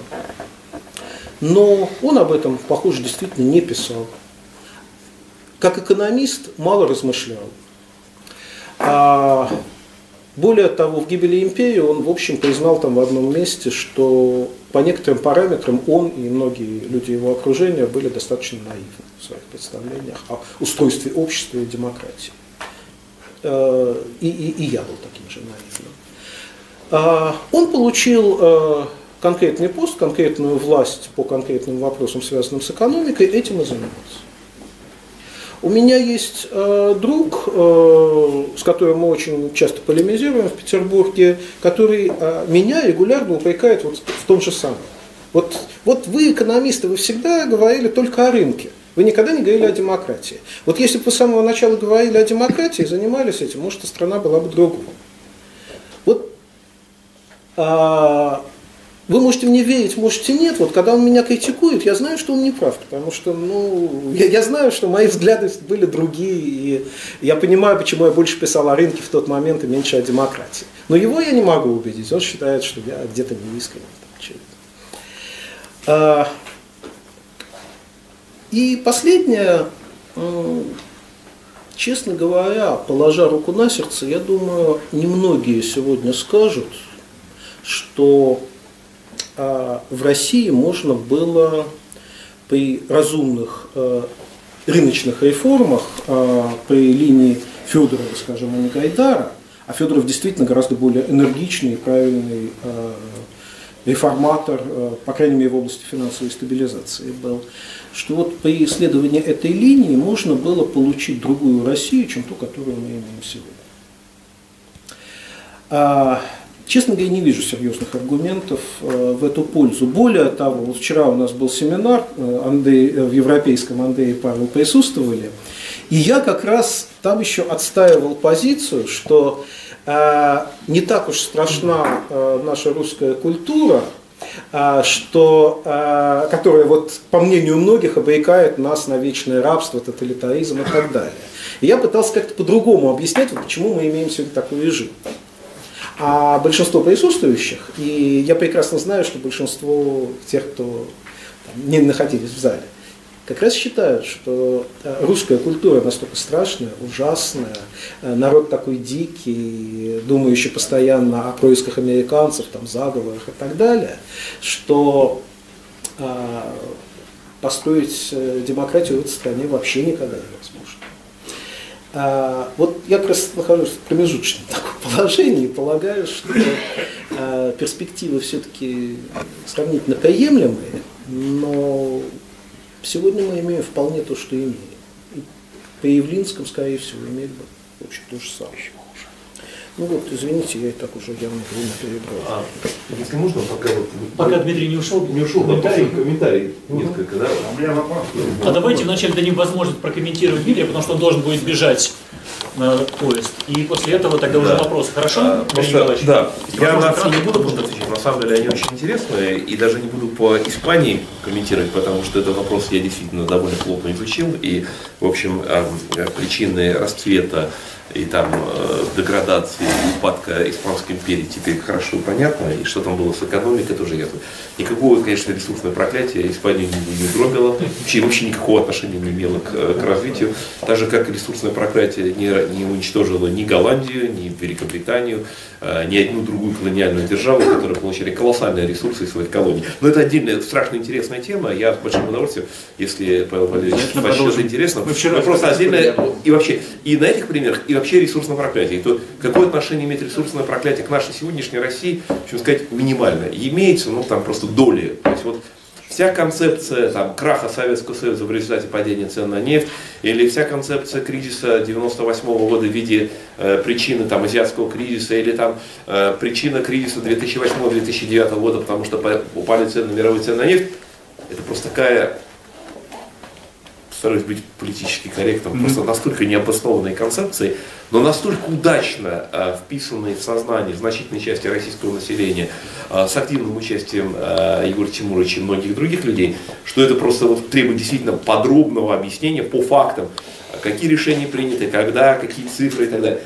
Моя позиция, я должен сказать объективности ради, в первой половине 90, 2000-х э, годов, в том числе, когда я работал советником президента, искренне считал, говорит, что ресурсное проклятие действительно имеется, и ресурсное проклятие существенно воздействует на разложение институтов. Даже написал несколько материалов на эту тему, даже презентации делал. И это показывал до тех пор, пока понял, что это полная ерунда. И вот там с 2005 года просто сказал, знаете, вот ресурсное проклятие – это в музее экономической истории. Значит, музей заблуждений экономической истории. Сам написал на это, просто понял. Ну, это основные. Некоторые вещи, которые, мне кажется, очень важно интересное. Коротко, да. Да, да, да. Потому что, значит, вот э, я сказал очень важная вещь, чем, э, чем, чему, вот, чем и он ценит, что он, он ценит, чем многие из нас ценят, там, значит, вот, продукты есть, там, товары есть, книги можно купить, покупать зарубежные поездки, там можно добавить там предпринимательский сектор и так далее. Смотрим просто, значит, вот, предпринимательский сектор э, был создан решениями Горбачева, 1986, 87, 88 году законы о кооперации, законы о государственном предприятии, законы о совместном предприятии и так далее. Индивидуальные предприятия – это все законы 86-88 году. Гадаль к этому никакого отношения не имел. Если говорить о свободе экономической деятельности, это указ о свободе торговли, автор э, Михаил Киселев. Гадаль к этому отношения не имел. Зарубежные, свобода зарубежных поездок. Э, это решение, которое принял Горбачев то есть указ президента Советского Союза, март 1991 года. Никакого отношения к этому Гайдар не имел. У нас просто спрессовались события вот как бы э, целого периода времени на один кусок, если пропаганда еще работает, 2 января 1992 года. Это решение приняты в другое время, другими людьми к ним отношения имеют. И, наконец, собственно, решение там, о либерализации цен, о том рынке, что все доступно, это решение, которое отстаивал э, Ельцин, э, Бурбулис, который они приняли, которым э, Гайдар, если имеет отношение, то очень-очень косвенное. То есть это совершенно другие люди. А главное отличие, собственно, почему это решение были приняты в 92 году, не потому, что а, значит, там был Гайдар, там были Турасов и значит, вот этот Щербаков. Щербаков, да. Главное, что тогда был не в этом. Для экономистов, для специалистов более-менее было известно. Главное отличие заключалось, там был Горбачев, а теперь стал, э, стал Ельцин. Вот, поэтому вот это, собственно, важная вещь. Теперь такая э, э, вот, э, важная вещь. Значит, кто принял решение некоторые? Это, я согласен, что многие решения принимали несколько людей. Э, несколько людей. В частности, вот, например, там решение по Лукатису Евробанку, э, вот вам не удалось поговорить с Петром Олеговичем, а мне удалось поговорить. Он как раз сказал, решение по Евробанку приняли мы втроем. Я понял, да. Значит, мы втроем приняли Шохин, Гайдар и я. Говорит, какое отношение к этому имел Ельцин? Ответ, никакого по Евробанку, миллиард долларов правильно. Говорит, решение по Лурдусу. Кто принял решение? Мы вдвоем с Гайдаром.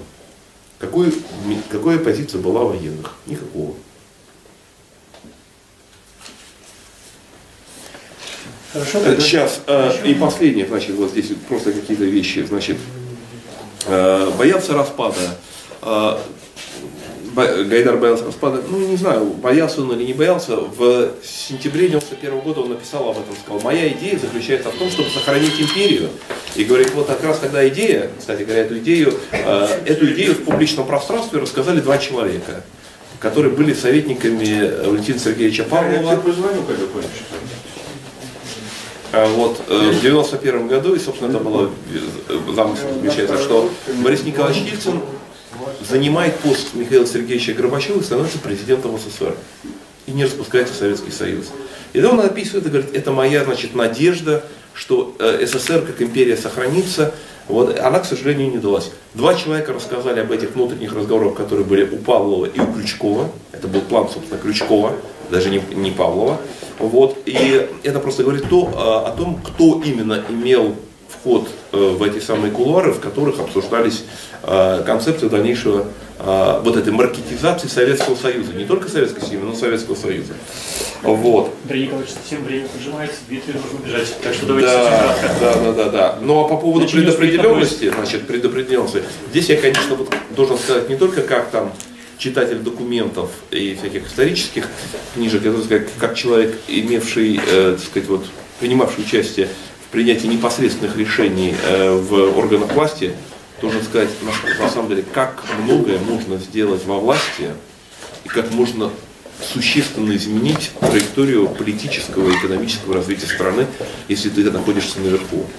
Это невероятно. Это, это, это на самом деле это пьянящее ощущение возможностей. Почему, кстати говоря, очень многих людей, кто оказался во власти, потом их, они не могут оттуда уйти, они цепляются изо всех сил, а даже когда они оказываются выброшенными, они все равно царапаются туда-назад. Это фантастическое ощущение, потому что ты можешь изменять судьбу страны, судьбу, я прошу прощения, миллионов людей, их последователей, решениями. И вот просто хоть то, что происходит на наших глазах там сегодня, вчера, показывает, как можно решениями, если ты обладаешь этой властью и последовательностью ты можешь изменить курс истории страны.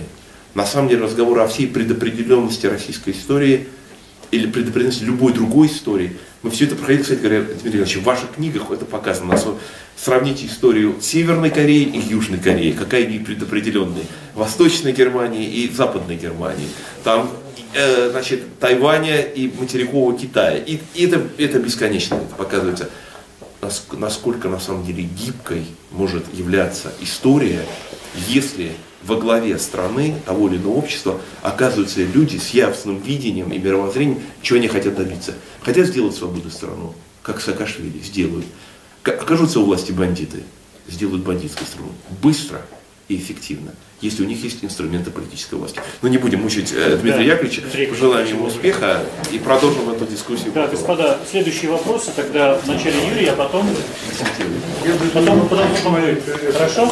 Сейчас вопрос Юры. А, а, Андрей Николаевич, спасибо. Сегодня вот узнал э, некоторые новые факты и акценты, но вообще, как вы сказали, я уже давно знаком с этим направлением ваших исследований, вы публиковали и выступали, но все равно они, как мы видим, не очень пользуются популярностью. И даже вот, например, а, казалось бы, оппозиционные, там, Варели Ильинична Новодворская, Боровой, то есть они очень критично восприняли вот саму идею критиковать Гайдара. И вот почему так происходит? То есть то ли они тоже агенты спецслужб, или, может быть, они не, не понимают этих фактов и верят в то, что вот э, Гайдар такой э, э, вот, святой, или, может быть, они просто хотят использовать этот бренд, что вот, э, как нам сказать, что если у народа в голове спрессовались все эти изменения, и вот Гайдар это как бренд либерализации Советского Союза, э, может быть, они просто хотят оставить этот миф. Вот почему так происходит? Ну, вообще, прежде всего хочу сказать, ирония судьбы заключается в том, что в 1992 году Валерия Ильинична Новодворская приходила с пикетами э, пикетировать Старую площадь правительства Гайдара и говорит, что это не, не настоящие либеральные реформы, и надо делать настоящие реформы, и выступала довольно жестко против э, Гайдара как раз тогда, когда многие, включая меня, защищали его от этого. Что правда, то правда, это из истории слова не выкинешь. А, вот. А, но это как бы, так сказать, исторический анекдот, ну, фактически то, что было. Значит, объяснить это, конечно, ну, я полностью не берусь, потому что иногда э, сознание и тексты Валерия Ильинична носят такой причудливый характер, что э, значит, вот, причинно-следственную связь э, мне уловить достаточно трудно.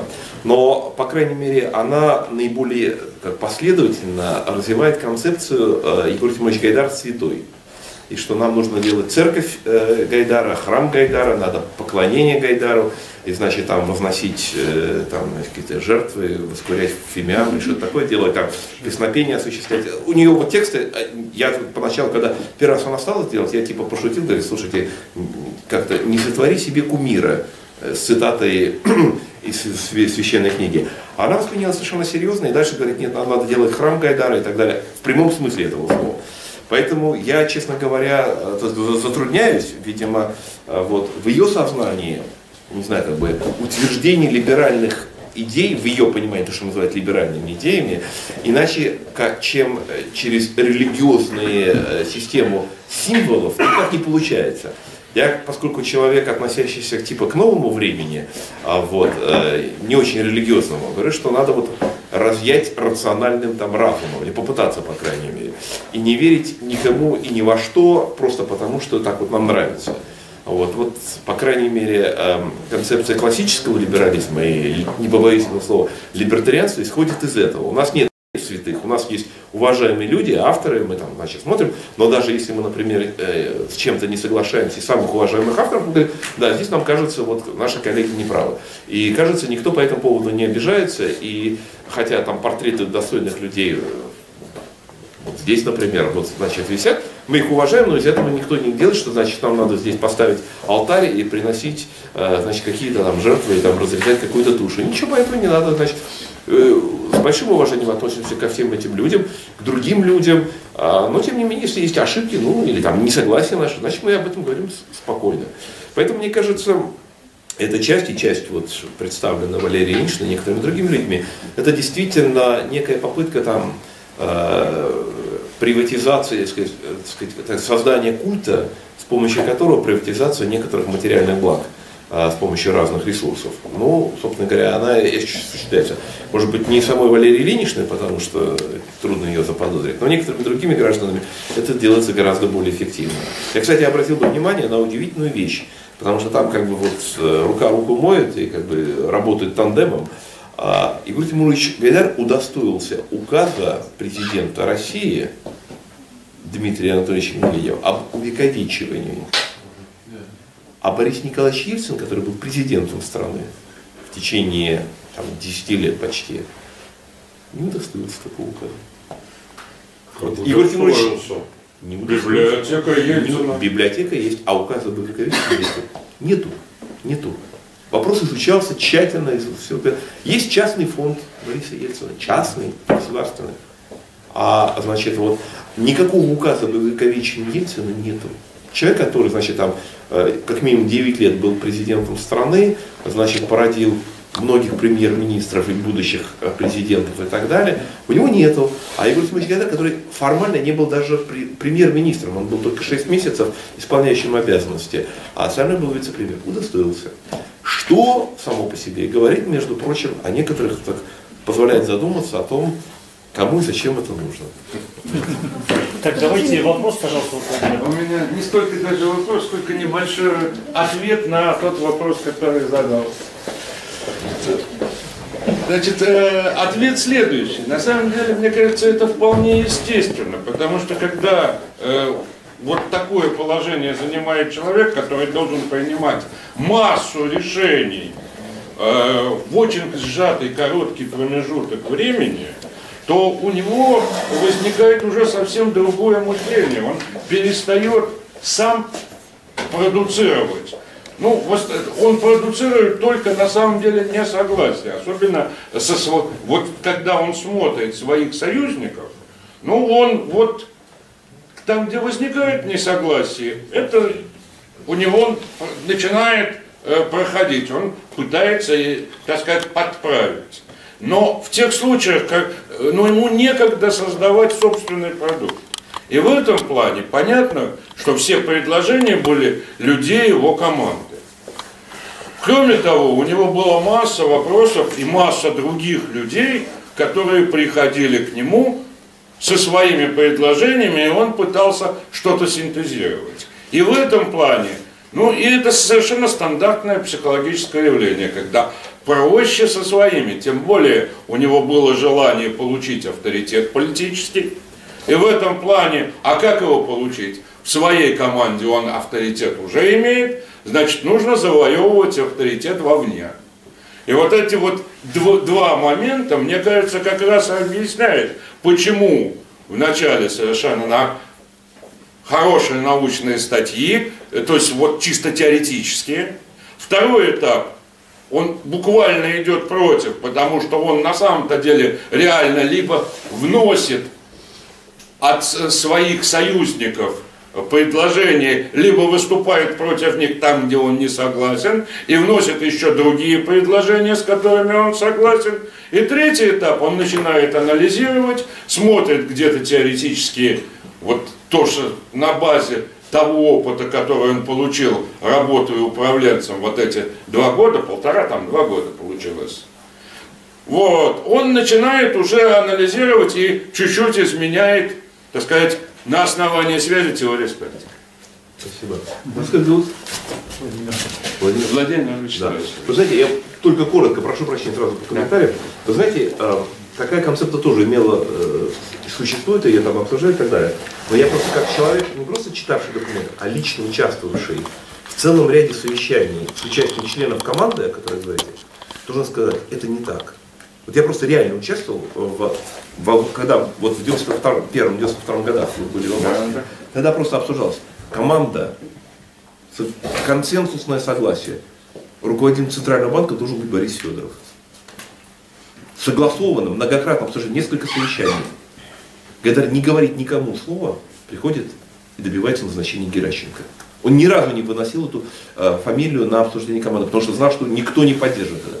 Вся команда сказала, Федоров, Федоров, выступил за Геращенко. Дальше. Унификация валютного курса. Вся команда говорит, естественно, унификация валютного курса. Гайдар, не проводить. Введение национальной валюты. Команда обсуждала многократно, естественно, совершенно нормально. Без команды. Не проводить, не вводить это. Либерализация. Естественно, все были за либерализацию. Выведение э, зерна и хлеба, нефти, личное решение. Это не решение команды. Указ о свободе торговли. Там было как... очень большое лобби. Нет, по нефти, по, нефти, по нефти было обсуждение. По, по хлебу и зерну не было никого. Более того, значит, более того, сейчас я не знал об этом. Значит, министр хлебопродуктов, а, унаследованный от СССР, ставший министром российский, Чешинский, который пишет, лоббирует, надо немедленно освобождать цены, иначе если у нас все рухнет, у нас рухнет мукомольная промышленность, у нас все, у нас хлеба не будет, требует лоббирует, там чуть ли не говорит, освободить цены. Гайдар не освобождает. Это совершенно другой случай. Никак, как раз давление было с другой стороны. Это показывает, кстати говоря, что Гайдар не был мягким человеком, мягкотелым. Очень твердый, очень принципиальный. Отста... И отставивающий свою позицию не в разговорах, а бюрократическими методами. Он не спорит, он просто принимает другие решения. То же самое, дефицит бюджета, прекращение кредитов. Все эти вопросы обсуждались многократно. Все говорили, ни в коем случае нельзя этого допускать. И Гайдар это делает. А Нефтин добивался, да? Что? По, по нефтям Кухин добивался либерализации? Там на самом деле все были. На более активно выступал, кстати говоря, Сергей Михайлович Игнатьев, который сейчас является руководителем Центрального банка.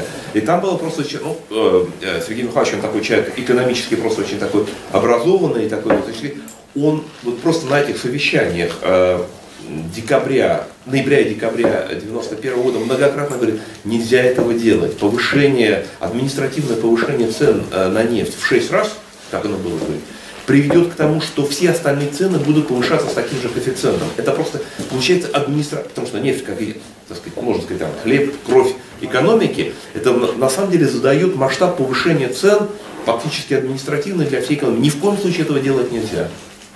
Гайдар настоял, чтобы повышался административно.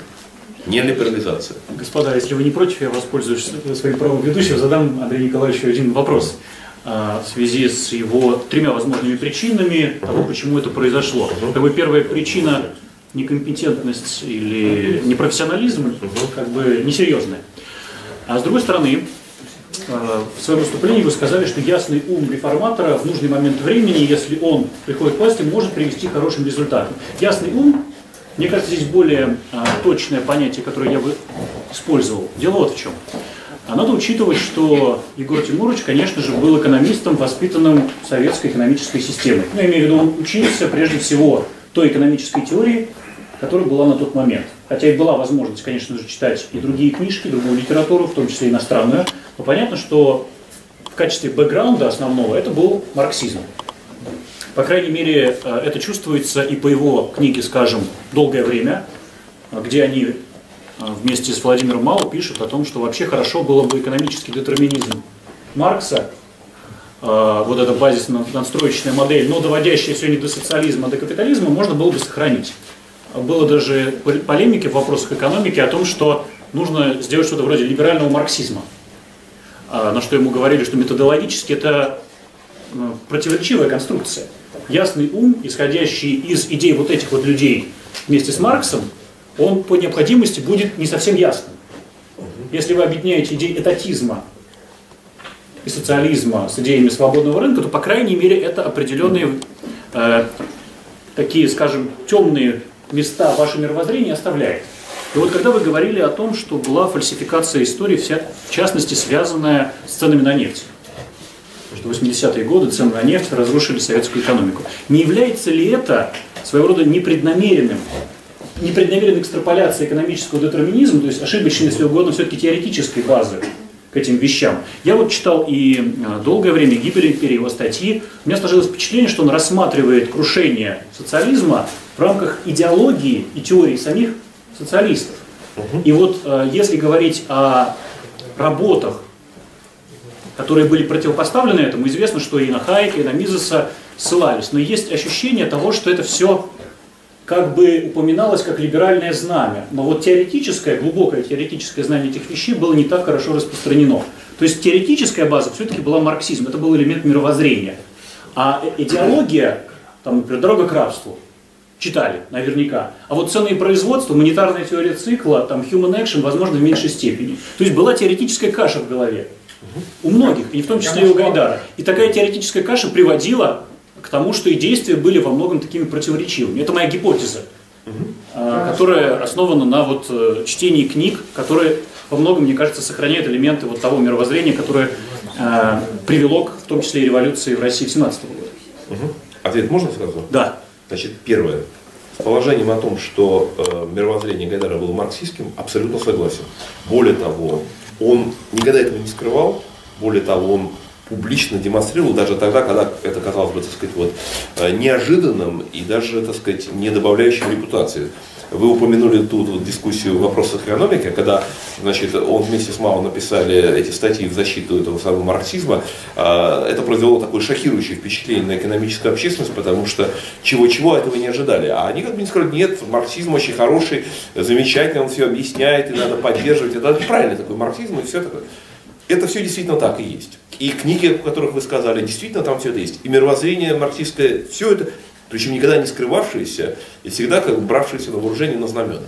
Но, если вы спросите, а Борис Федоров читал «Дорогу к рабству»? Ответ – нет. А читал он Мизиса?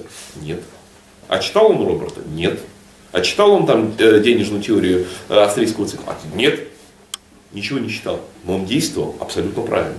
Он не действовал не так, как Гайдар.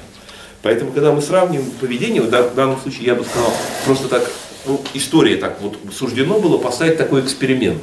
Вот как бы два человека, один в 92 году, другой в 93 А в 93 году в течение четырех месяцев одновременно находились во власти.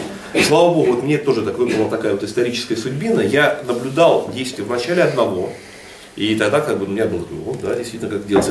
У меня были там резервации, я там спорил, там, говорит, так не надо, а мне там старшие товарищи говорили, нет, нет, тут все правильно. Ну, черт его знает, не знаю, как там, те самые. Потом приходит Федоров и показывает, как можно делать. И, честно говоря, я тогда просто это видел, и просто я понял, что просто весь 92 год был выброшен на свалку, потому что, оказывается, можно сделать один человек, может, ну, там ему помогали, конечно, мы там кое-что делали, но, конечно, основной мотор был Федоров, вне всякого сомнения. Оказывается, можно сделать с гораздо меньшими ресурсами несопоставимо большие вещи. А потом с сентября 93 года приходит Гайдар, и мы видим повторение всего того, что было в 91-92 году на стороне Гайдара, а Федоров продолжает это. И в одно и то же время два человека ведут совершенно разную политику, прямо противоположную. И тогда понятно, что это объясняется не тем, какие они книжки читали. Они читали более-менее одни и те же самые книжки, марксистские.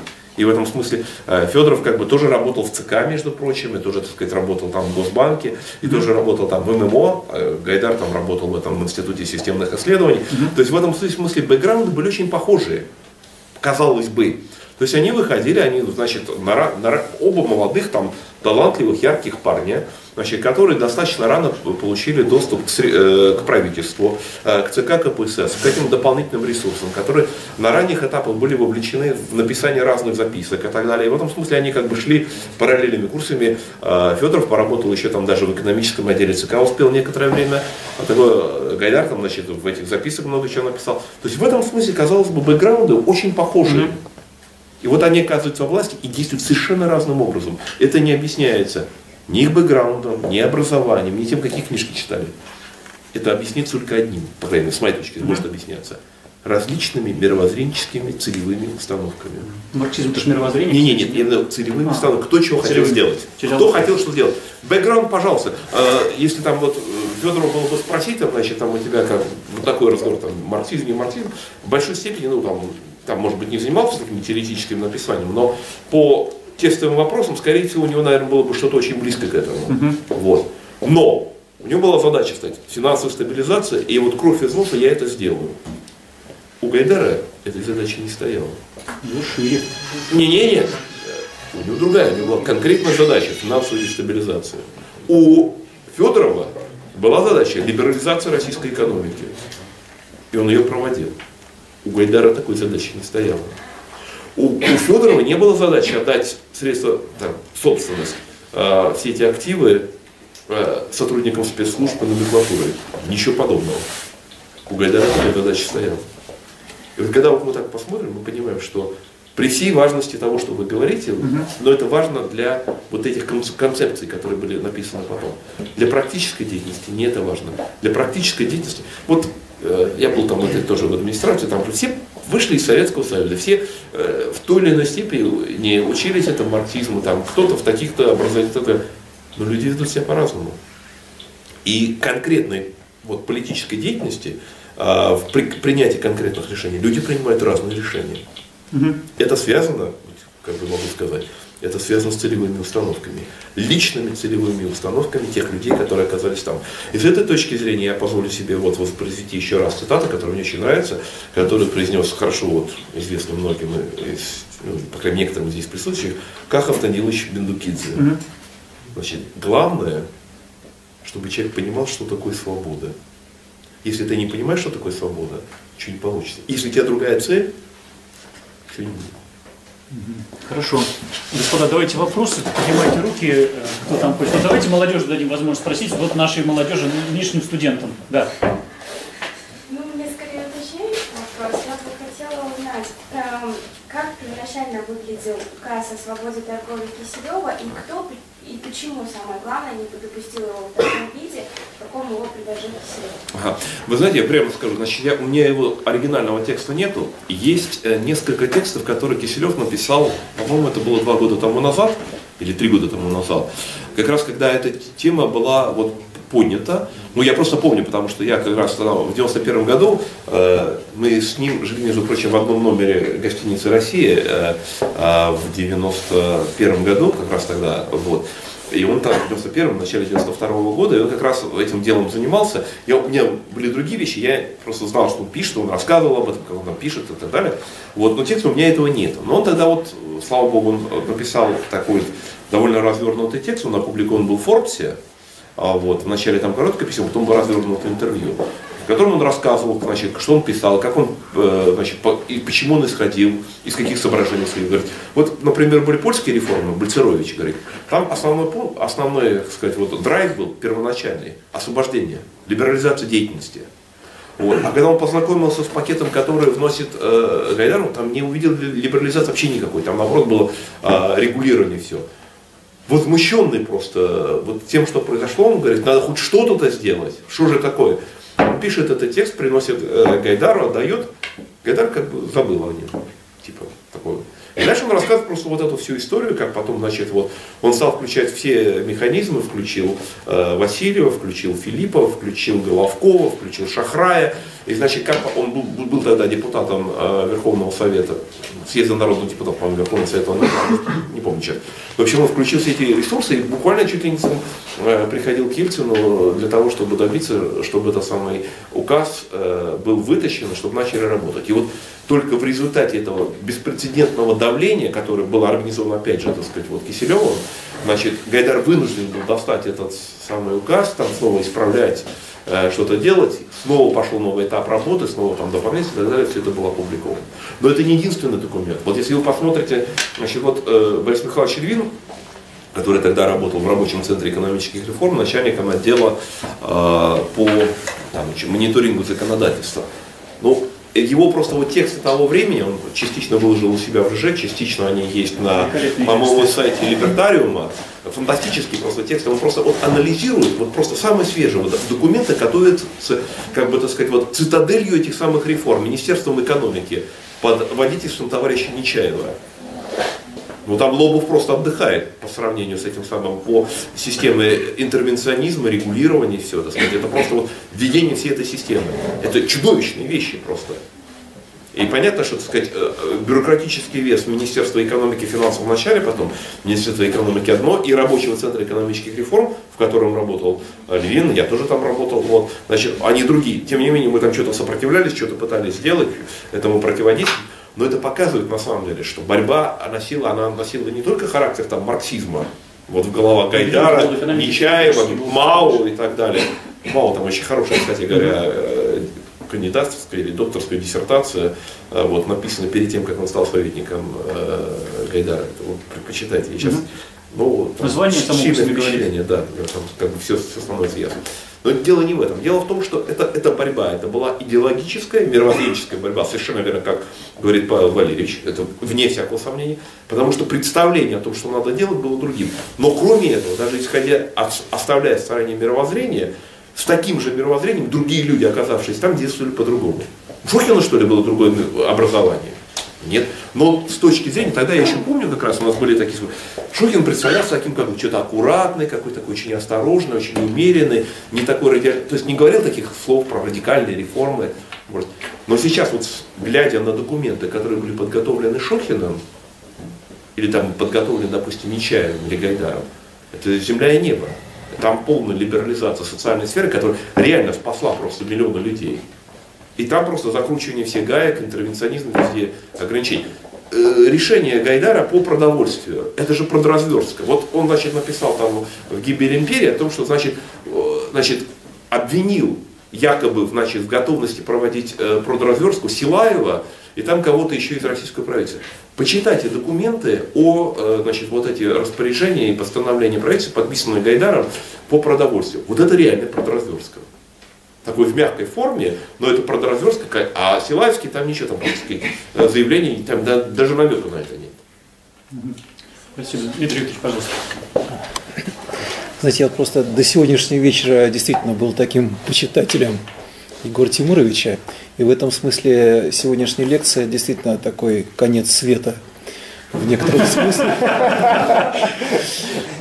Замена одного мировоззрения на более удовлетворительное. Вот я, я начал сомневаться, я начал сомневаться, и у меня вот все-таки остался еще один вопрос, э, который для меня остается очень важным.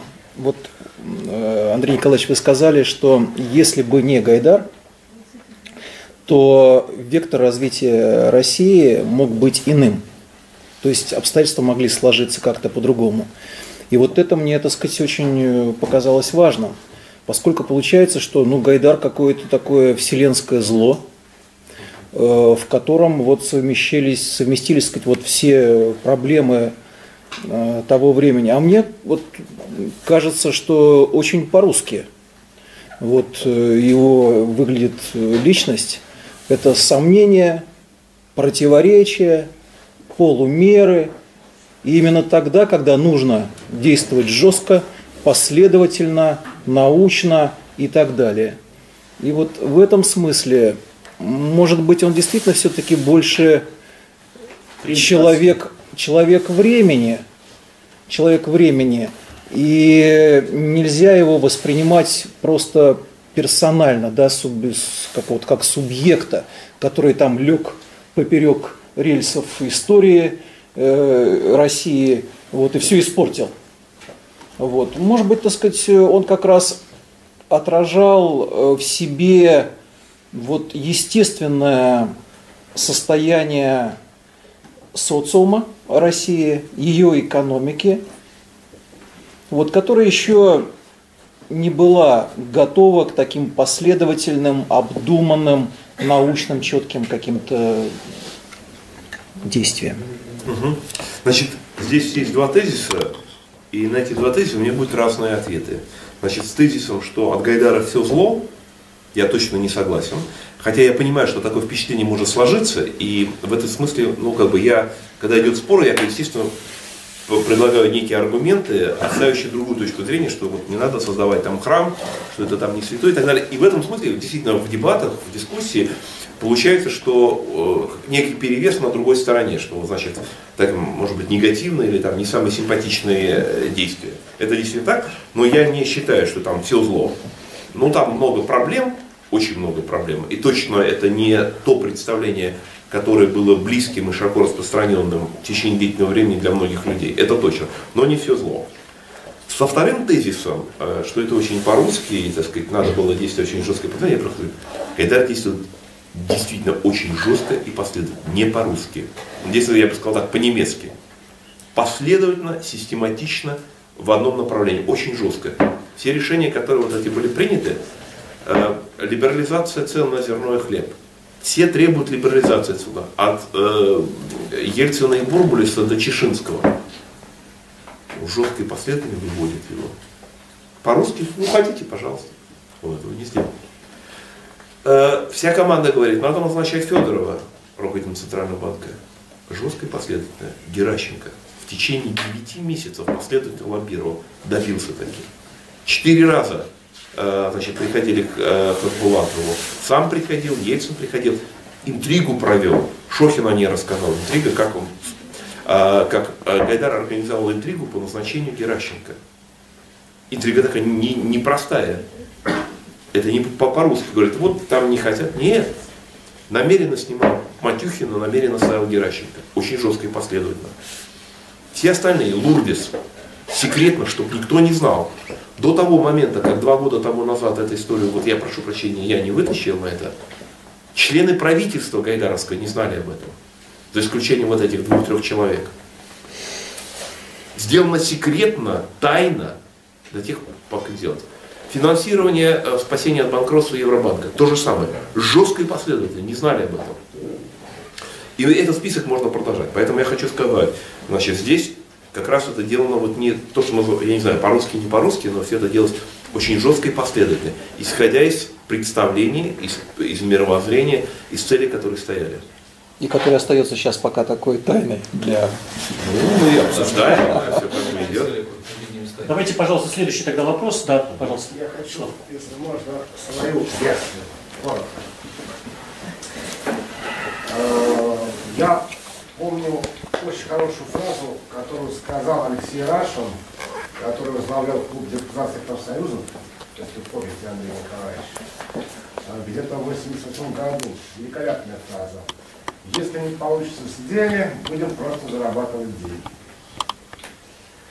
И я очень много общался с всевозможными реформаторами, не так плотно, как Андрей Николаевич, в основном в одной сфере, в сфере недвижимости, как меня исторически сложилось. Я могу сказать так. И вообще не считаю то, что имело место быть в 92 году, реформами. Гайдаровские реформы или реформа Гайдара Чубайса – это очень большой и вредный миф. Я абсолютно согласен с тем, как говорит Андрей Николаевич, что вот эта мифология, и здесь, мне кажется, вина Чубайса гораздо даже больше, чем Гайдара. Он больше кричал о демократии, о либерализме. Смертельный удар либерализма в России был нанесен именно тогда. И э, кто из них больше повинен в этом Чубайс или Гайдар, не так важно. Но удар был нанесен и очень серьезный. Был абсолютный правовой нигилизм. Пренебрежение к праву просто чудовищное. Я вот сейчас занимаюсь новым гражданским кодексом, что воспринимается новый гражданский кодекс. И никого это не волнует. В новостях это нету. И вот то, что сейчас гражданское частное право в России никого не волнует, это следствие вот тех годов. Тот гражданский кодекс принимался в 1994 году, первая редакция, когда у нас тогда в Думе господствовала фракция демократический выбор России. И в этом кодексе есть одна очень интересная статья, о которой мало кто вспоминает. Это такая, что все, что касается приватизации, регулируется законодательством о приватизации, то есть вне кодекса. То есть все, что касается приватизации, это вне частного права. Это прямое ручное регулирование и прямое ручное управление. И вот э, система она складывалась достаточно быстро в течение 92-93 года. Эта система складывалась, и то, что мы имеем сегодня, это действительно продолжение той системы. Виноват в этом Гайдар, не виноват в этом Гайдар, это на самом деле вопрос вторичный. Вот тогда все началось. И что касается идеологии. Эм, мне, конечно, кажется, что Гайдар был фанатиком идеи. И то, что он постоянно пытался занять число оправдать свои действия, свести теорию с практикой, об этом, э, об этом, э, об этом свидетельствует. Но все прочие, как мне кажется, начиная с известного времени, действовали по принципу. Не получилось идеи, делаем просто деньги. И эти деньги были очень большие. Зарабатывать на этих реформах было очень удобно. На реформах зарабатывали. А реформы делали те люди, которые вообще никогда слово реформа не употребляли. То есть те, кто больше говорили о реформах, реформы не делали. Реформы делали те люди, которые даже реформу слова не употребляли. И сейчас у нас, если мы хотим что-то завалить, то лучше всего это сделать это реформой. Как только это станет реформой, будет, как сказал чиновник. Хотели как лучше, получилось как всегда. И что касается идеологии. Я почему-то ну, про Елена Шиковна, так, чтобы не забыть, сказал. А, основная идея была реформировать социализм. Из этого все росло, и это была реформа, но это не, это не марксизм, это рыночный социализм. Эта доктрина сидела в мозгах. Реформировали социализм, строили переход от административной экономики к рыночной. Вот. А никакое свободное общество не создавали, потому что такую свободную экономику не создавали. Потому что она, если бы они действительно ее создавали, базируется на правовом фундаменте. Вы посмотрите, хоть какой-нибудь из законов был принят в 1992 году. До принятия гражданского кодекса в 1992 году вообще ничего не делал. Сплошной правовой произвол. И эта привычка была сформирована тогда. Власть, пишу любой указ, любое постановление, властью своей, я любой закон принимаю. Именно тогда эта традиция сформировалась. И до сих пор не исчезает. Вот у меня такая, Андрей Николаевич, версия. Я хочу просто коротко сказать. Значит, я, э, значит, вот тут было выступление, значит, не могу не согласиться и всеми силами поддержать вот эти тезисы, о которых сейчас сказал Вячеслав, о правом нигилизме и правом произволе. И э, это, конечно, одна из самых, э, один из самых больших ущербов, который был нанесен стране не в краткосрочном плане, то есть краткосрочный план, там, падение производства, там, безработица, там, это все понятно, это безумно тяжелые вещи, но в стратегическом плане э, вот два, наверное, самых больших удара нанесены, не в, даже, ну, или не в среднесрочном плане, там, не в виде кризиса, Два. Один это как идеология либерализма, а второй это представление о праве и представление о справедливости. Потому что любое представление о праве базируется на э, существующем в обществе господствующем представлении справедливости. Значит, Чубай в свое время э, открытый и так даже просто гордясь, вот в, в интервью своем сказал, говорит, представление о справедливости у российского народа мы подорвали записывать себе в заслугу, что вот уничтожено, уничтожено представление справедливости. На самом деле, ну, это как бы либо непонимание того, что какого просто вот геро, такое преступление уровня Герострата было совершено, либо даже просто гордость этому, потому что любое общество, неважно какое там, коммунистическое, не коммунистическое, там, либеральное, не либеральное, либеральное базируется на представлениях, на господствующих представлениях о справедливости. Что хорошо, что плохо, что пристойно, что непристойно. И без этого представления, которое там оно, э, каким-то образом фиксируется в законах, в указах, либо просто в традициях, которые там поддерживаются старейшинами, э, там, уважаемыми людьми и так далее, что можно делать, еще нельзя. И вот это как бы сознательное действие по разрушению справедливости и не говоря уже о праве, это действительно одна из таких э, от, открытых, таких э, заметных черт того, что делалось. Это, конечно, стратегическое, стратегический ущерб на длительное время. Хорошо, давайте, друзья, у нас времени довольно много прошло. Давайте несколько последних вопросов и будем подводить итоги. Хорошо, пожалуйста. А потом... Не-не-не, вначале... Да. Вы знаете, мне хотелось бы, вот хотелось включиться в вашу дискуссию, когда вы про Новодворскую говорили. Ну, вот сейчас тогда немножко вернуться. Смотрите, э, вы сами сказали, что Валерия Ильинична была против того, что вот делал Гайдар тогда, протестовала. Но вот так сложилось, ну, вот, скажем, закон Магнитского, да, есть множество людей, которые пострадали от э, нашего, не знаю, нашей тюремной системы или как-то э, от нашего правосудия, но закон вот закрепилось имя Магнитского, как бы он стал символом, да, вот нарушение прав человека, он стал символом, и, э, возможно, кто-то пострадал гораздо больше, чем он, или там более жестоко э, над ним издевались, но тем не менее, вот как бы общественный резонанс получил это дело, и закон назвали его именем.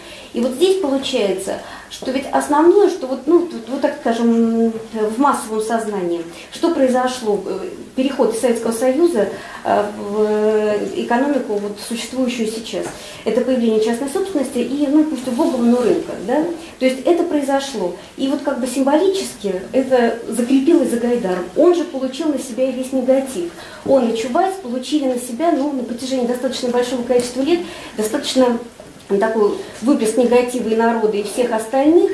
И сейчас, когда вот Новодворская говорит, э, ну там не будем сейчас о церквях говорить, но тем не менее, мне кажется, она сейчас о Гайдаре говорит как о чисто символической фигуре, которая ассоциируется именно с этим. Вот все, что вы говорите, я с этим совсем согласна, и что это нужно все обсуждать, и с нетерпением жду вашей версии, почему Гайдар так поступал. Вот, но тем не менее, это все-таки разговор для специалистов или хотя бы людей, очень сильно интересующихся этим. А в массовом сознании вот как бы должно быть какое-то имя, должен быть какой-то миф, который ну, вот каким-то образом вообще произошедшее. Ну, я могу только сказать, что действительно эм, э, вы правы в том, что действительно в сознании довольно значительной части российского населения закрепилось, что частная собственность ассоциируется с Гайдаром. Хотя по факту частная собственность, как бы легализация началась в 1986 году указами э, Горбачева Они и потом законами. негатива за это. А, Ну вот, понимаете, вот просто вот факты, факты истории. Создание кооператив, создание совместных предприятий, э, начало индивидуальной трудовой деятельности, легализованной. Не легализованная она была всегда, да, но вот все это легализация, это реформы, экономические реформы Горбачева 86-88 годов.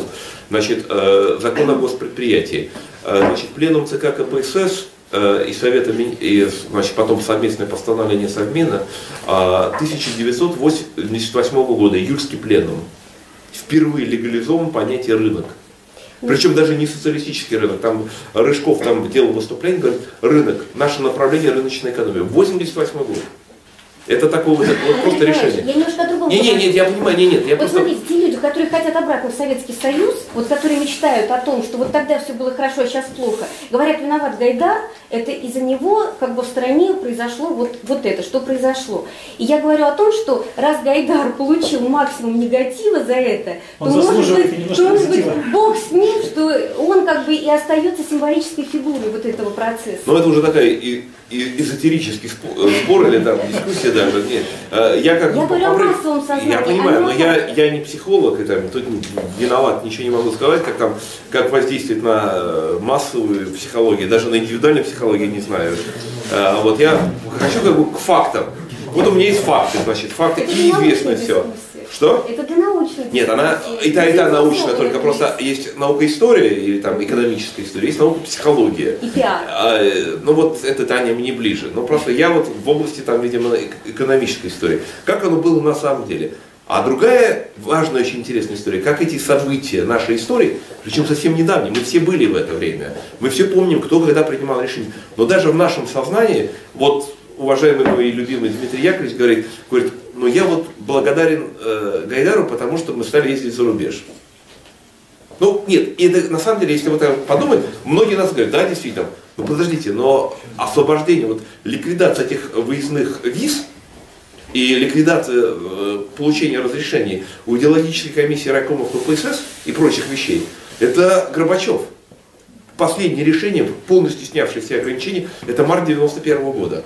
Все, после этого все свободно. Какое отношение к этому имеет э, Гайдар? Никакого. Ноль. Символическое. Нет, ни, никакого, ни символического не имеет отношения. Он к этому, он рядом там не стоял. В 91 году он вообще другими вещами занимался. Вот, это, это, вот, это, это просто вот отдельная, безумно интересная тема. Каким образом в индивидуальной и массовой психологии отражаются события, реальные события. Вот это, это тема, которая, я не знаю, она возможно, бесконечно. Я здесь не специалист, не психолог, не знаю, тут надо привлекать специалистов, которые, значит, будут объяснять, как таким образом трансформироваться. А, вот Анатолий Борисович Чубаев, большой специалист по этому, вместе с Леонидом Яковлевичем Гозманом, они экспериментируют, добиваются больших, удивительных результатов, когда, значит, э, э, результаты доби, э, значит, сделанные другими, как, например, финансовая стабилизация, сделанная Федором, они приписывают себе, или там какие-то другие вещи. Они большие мастера этого дела, надо их, конечно, привлечь, они расскажут, как, как они этого добиваются. Или как была вот запущена вот этот самый там мем или слоган, как из Гайдар спас страну от голода, э, там этой гражданской войны и распада страны. Ни того, ни другого, ни третьего не было, но грамотно заброшенный этот лозунг потом повторялся. Я просто специально смотрел, взял, взял просто по, по гуглу и пошел. И пошли все, и все министры действующего правительства, начиная с Аркадия Дворковича, стали говорить, Гайдар спас, спас. И когда это уже повторилось несколько раз, все говорят, ну конечно спас, а какие разговоры? Подождите, какой голод, какая угроза, где спас? Че, это, это как бы сказать, э, регулированием цен э, на зерно, на хлеб, организации очередей, это он спас? Это 50 миллионов тонн, там была угроза голода, это зеленая травка. Они уже вошли в раш, уже там уже создают новые теории. Это уже мир США отдельный, который к жизни не имеет никакого отношения. Но люди там, ну да, говорят, да, спас. Господа, давайте два маленьких вопроса, и после этого мы перейдем к десерту, который нам Андрей Николаевич обещал, да, три, три. Давайте кратко. Только краткие какие-то высказывания и комментарии. 10 часов уже, Андрей Николаевич, пора приходить к десерту. Вот мой вопрос. Скажите, Так. гла- главное. И получилось ли у Гайдара то, что он хотел? Отвечу сразу на этот второй вопрос. Его несколько раз спрашивали, значит, вот, э, значит, было ли что-то, э, значит, что-то, что вы бы поправили. Много раз спрашивали, и у него ответ все время один и тот же. Да, в деталях, конечно, я бы что там поменял, мы там не все знали, технически нужно, но в целом получилось то, что мы хотели. Более того, более того, значит, и он неоднократно отвечает, говорит, вот другой, говорит, вот именно так, как оно должно было. И более того, я добавлю к этому еще э, цитату из Анатолия Борисовича, который там сказал в интервью журналу э, «Избранное». Значит, он сказал, говорит, мы сейчас рыдаем от того, что у нас все получилось. Мы просто нельзя не рыдать, видя, что президентом нашей страны является э, сотрудник Анатолия Собчака Дмитрий Медведев, а премьер-министром, значит, его ближайший там а, Владимир Путин. Ну, это было вот в там, 87 году, когда один был президент, а другой премьер-министр. Это гордость. Мы горды тем, что у нас это получилось. Анатолий Борисович Чубайс. Это в восьмом году. Это в восьмом году, да. Да. Не, не, это в восьмом году, в 2008 году в, это, в интервью журнала здесь. Говорит, это, говорит, если бы мы знали, что у нас получится так здорово, как у нас получилось, мы бы в 91 году, 92 зарыдали бы. Окей, Ну, что они хотели? Маленький комментарий. Вот то, что получилось. Господа, Можно короткую реплику? Андрей Николаевич, поскольку я психолог, а вы. О, вот, вот вам надо было сюда и уйти, и выступать и Я, рассказывать. конечно, в этом деле не специалист, хотя могу сказать, но именно в этой. Но я бы на что хотел обратить внимание очень коротко. Мне кажется, что вот сам метод такой вот, ну, как прочитывается в вашем посыле, что как вот морской бой, да? Вот давайте играть в морской бой. Вот вы вычеркнули клеточку, попал, не попал. Мне кажется, все-таки для оценки главнее все-таки публичная форма проявления. То есть именно того, что говорил Чуб, э, этот, э, Гайдар, Чубайс и так далее. И, например, срез. Например, Чуб- Чубайс, чего мой вопрос был, заключался, он же сейчас говорит, это же мы вот породили средний класс, миллионы, которые выйдут. Это вот посыл, а был как бы он сводит. Изначально можно о ней, может, не говорить, но сейчас к этому апеллируют. Или вот, например, э, я буквально очень. Э, э, Гайдар. Как можно объяснить, э, Гай- Гай- ну, или вот то, что они активно поддержали э, ну, Путина. Можно сказать, что ну, ошибка это ли? Нет, вот и ваш доклад меня убеждает о том, что внутренняя логика ну, размышлений, как мне представляется, Гайдара и Путина очень совпадает. Хотя и не разошлись, потому что сам Не Гайдар говорит- разошлись. А? Не разошлись. Ну, на втором он говорил, что первый, э, первый э, этот, избрание Путина он делал все, что нужно, а второй он начал делать не то. Ну, вот формально он там говорил. Именно, например, как объяснить то, что вдруг Гайдар вот, на- в этот период критический отходит от руководства политической партии, ну, и говорит, я просто член партии. В руководстве нет. То есть понятно, что за этим стоят какие-то смыслы. И понятно, что это, э, за этим стоит какая-то политика. Но я вот просто говорю о том, что предлагаю вот как бы больше на этом сосредоточиться, на том, что нам очевидно, а на то, что эзотерическое, ну, гадания больше. Есть необходимость отвечать? Дадите Я, только- я- я- я только вот э, просто хочу сказать, что э, как мы можем проверить, э, что человек думает, э, так сказать, к чему он стремится и, так сказать, в чем его цели. Здесь, по сути дела, я не знаю, может быть, вы как психолог знаете больше, но мне всегда казалось, что есть два метода. Один – это слово, другой – это дело. То есть первое, что человек говорит и как он говорит. И второе, что он делает и как он делает. Для тех миллионов несчастных или наоборот счастливых, кто не попал в государственную власть, я имею в виду сейчас пока про политическую, так сказать, потому что в, индивидуаль- в жизни мы, каждый, мы, что, мы что и говорим, и что-то делаем. В нашей семье, на работе, там, в бизнесе, с друзьями и так далее. Но если мы говорим о публичной деятельности, то в публичной деятельности подавляющее большинство нас всех живущих, вот там 100 140, 139 миллионов 999 тысяч, мы можем только говорить. Мы говорим, это нам нравится, это не нравится, это мы поддерживаем, это не поддерживаем. У нас возможности повлиять на это очень немного, но за исключением э, голосования, если оно не фальсифицировано. Если фальсифицировано, даже это невозможно. Очень небольшого круга людей есть возможность проверять их реальные размышления, их идеи, потому что у них есть возможность действовать. Это те люди, кто получает политическую власть и принимают решения, прежде всего исполнительную власть. Вот для анализа э, нашего героя у нас есть возможность смотреть и на слово, и на дело. И в выборе между словом и делом, я в любом случае как бы смотрю на то другое, но предпочтение даю делу. Что делал? Потому что, значит, если человек не получил власти, мы можем судить о его намерениях, о его планах по словам. Вот он говорит, я там за свободу. Он говорит, я против свободы. Мы говорим, ну ладно, значит, тогда мы, у нас есть представление о том, что он себя представляет. Но если он говорит, я за свободу, а делают против свободы, то мой вывод этот заключается, пожалуй, все-таки, наверное, против свободы, потому что дела для этого очень небольшого круга людей, нескольких десятков или несколько сотен людей, кто за последние э, там, 20 лет оказался во власти, имел возможность принимать реальные решения. Дела несопоставимо более важные. И поэтому, хотя я, с другой стороны, не забываю о том, что было сказано в словах, и там набралось очень много еще было сказано в словах, которые во многих случаях не сильно противоречат делам. Но дела все равно обладают приоритетом. Андрей Николаевич, можно одно предложение, буквально, например? Светлое будущее, которое публично провозглашал Гайдар, какое, я напомню. Он говорил, что вот если уровень какой-то доходов на определенную, ну, на, на душу населения превысит определенную сумму, вот тогда и будет нормальное общество. Он же говорил это. Но, он же не но, хотел но, кого-то но, обмануть и так далее. Он говорил, что вот такая цель. Господа, у нас Ну больше, вот. все больше дискуссий может Да, разрастаться. не, нет, это хорошо, но просто Да. вот уже Вячеслав как раз напомнил, в принципе, это не Гайдар сказал, это вообще сказал Липсет в 1000 1959 году. Собственно говоря, он автор этой идеи, которая очень хорошо известна в мировой э, экономической, социологической науке. Наиболее детальная э, как бы, вот, проверку этой концепции сделал Адам Шивовский а в целом ряде работ э, конца 80-х, начала 90-х годов по изучению э, критического уровня экономического развития, который там э, способствует поддержанию устойчивых институтов демократии. И в этом смысле Гайдар не сделал ничего нового, надо только каждый раз, когда он говорил, надо было упоминать, как сказали Липсет, Шворский, а также несколько десятков э, людей, которые об этом написали много разных книжек. Ну, просто как бы Шпион все время об этом забывал, а Анатолий Борисович Чубайс постоянно говорит, что э, Гайдар разработал великую теорию связи эко- уровня экономического развития с демократией, и значит, это, так сказать, великий вклад в мировую экономическо-социологическую науку. Но это так, опять же, относится к вопросу о том, что было на самом деле, как это отражается в сознании. Евгений. А Кто, на ваш взгляд, заинтересован в фальсификации истории 90-х?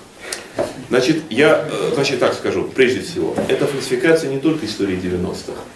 Значит, вот э, книга «Гибель, «Гибель империи», которая сейчас вот разбирается, мы уже упоминали имя, э, значит, это вот автор Марии Говоров, который исследует это, значит, я должен сказать, она э, разбирает материалы там с 50, по-моему, второго года, по какой мере, по зерну, по хлебу, по этому, по золоту, по золотому запасу.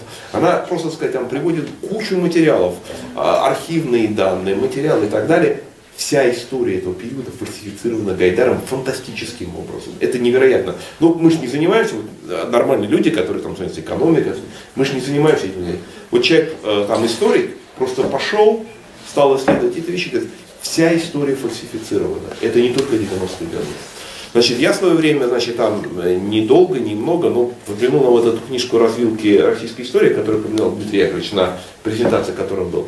Она же вся фальсифицирована. Она фальсифицирована начиная с 20 века.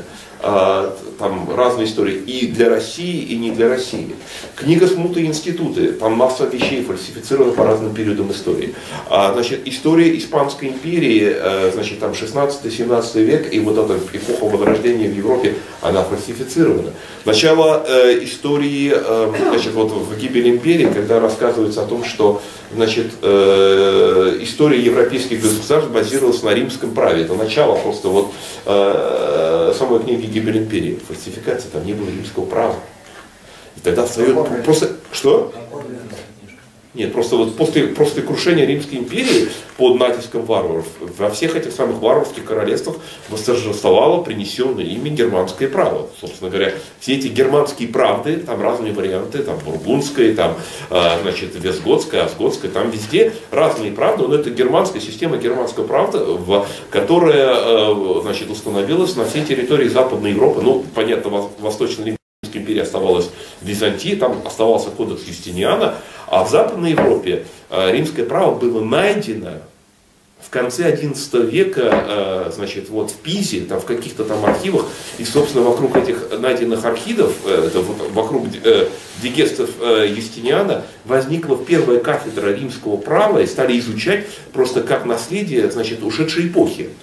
И это все продолжалось только до, собственно, до кодекса Наполеона, собственно, кодекс Наполеона 1804 года, который построен и во многом основан на некоторых элементах римского права, конъюнктуральное право и так далее. А вот это все, вся эпоха, тысячелетняя практически э, история, больше чем тысячелетняя история, 12 веков э, Западной Европы, это совсем другое. Исторические правды. Собственно говоря, э, э, все наши вот эти романы, которыми все мы засчитывали, Дрион и все это такое, какое там римское право? Это чистое солическое германское право. И, собственно говоря, там все наши эти герои, ну не наши, э, западноевропейские, они там друг друга там убивают, бьются, борются по принципам солических прав.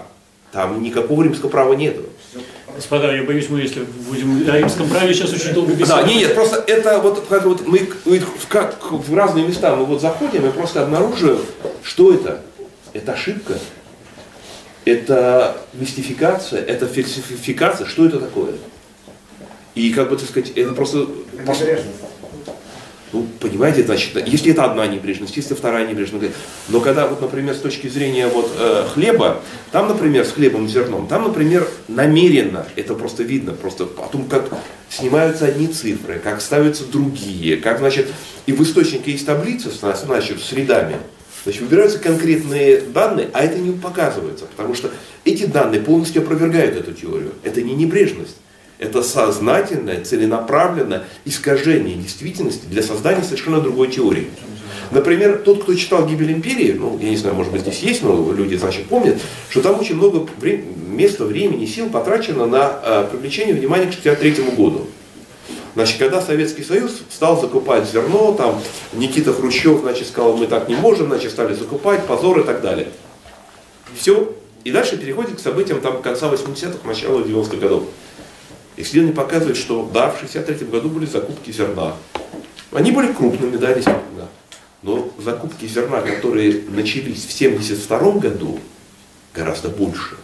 И реальный перелом, переход э, Советского Союза из положения экспортера зерна в импортера зерна произошел не в 63 году, а в 72 Ну а в 72 году гибель империи не сказано ни слова. Любая таблица, которая существует по экспорту и импорту зерна, по торговле и так далее, в, и в советской статистике, в американцев далее, четко показывает ключевой перелом 72 год. Гайдар намеренно. И все эти таблицы ему известны, потому что ссылки на все эти работы у него есть. Но про 72 год он не проронил ни слова. Все внимание обращается на 63 год. Возникает вопрос, зачем? Зачем был скрыт 72 год? Зачем был выпечен совершенно незначимый с этой точки зрения 63 год? А? Когда таких случаев набираются десятки и сотни, появляется теория, концепция, которая изложена в гибели империи, в других местах, которая нам хорошо известна. И в результате получается скрыта реальная история страны, и реальные переломы, и реальные решения, которые принимались, например, в 1972 году.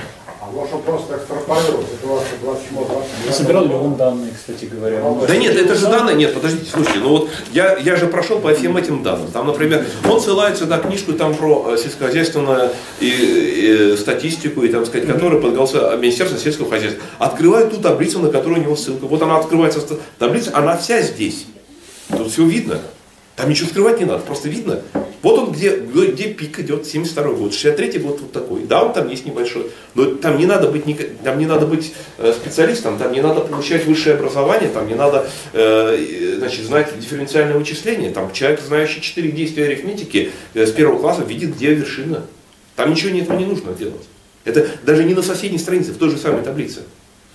Когда, например, он пишет данные, там, например, это вот во втором издании, это, это, это издание «Гибель империи» висит сейчас в интернете, не первый, не третий, а второй висит в интернете. Можно зайти. Там есть соответствующий график. Говорит, о закупке зерна э, в государственные ресурсы. Значит, по пятилетиям. Он покажет, и закупки зерна э, значит, вот, эм, в государственные э, ресурсы по пятилетиям там выровнялись, стали сказать, постоянными. Значит, вот там не давалось. Ну, все прочитали, десятки тысяч людей прочитали это, все говорят, ну да, действительно так. Мелким шрифтом идут подписи под этими колонками.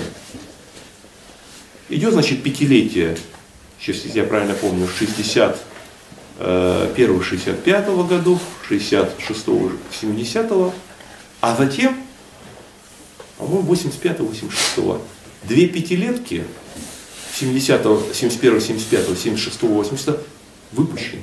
Их нету. Знаете, ну когда вы делаете, то есть идет же по пятилеткам последовательно. Что вы нам И когда, э, вы по- позволите, я закончу, хорошо, а потом вы будете э, выступать, так?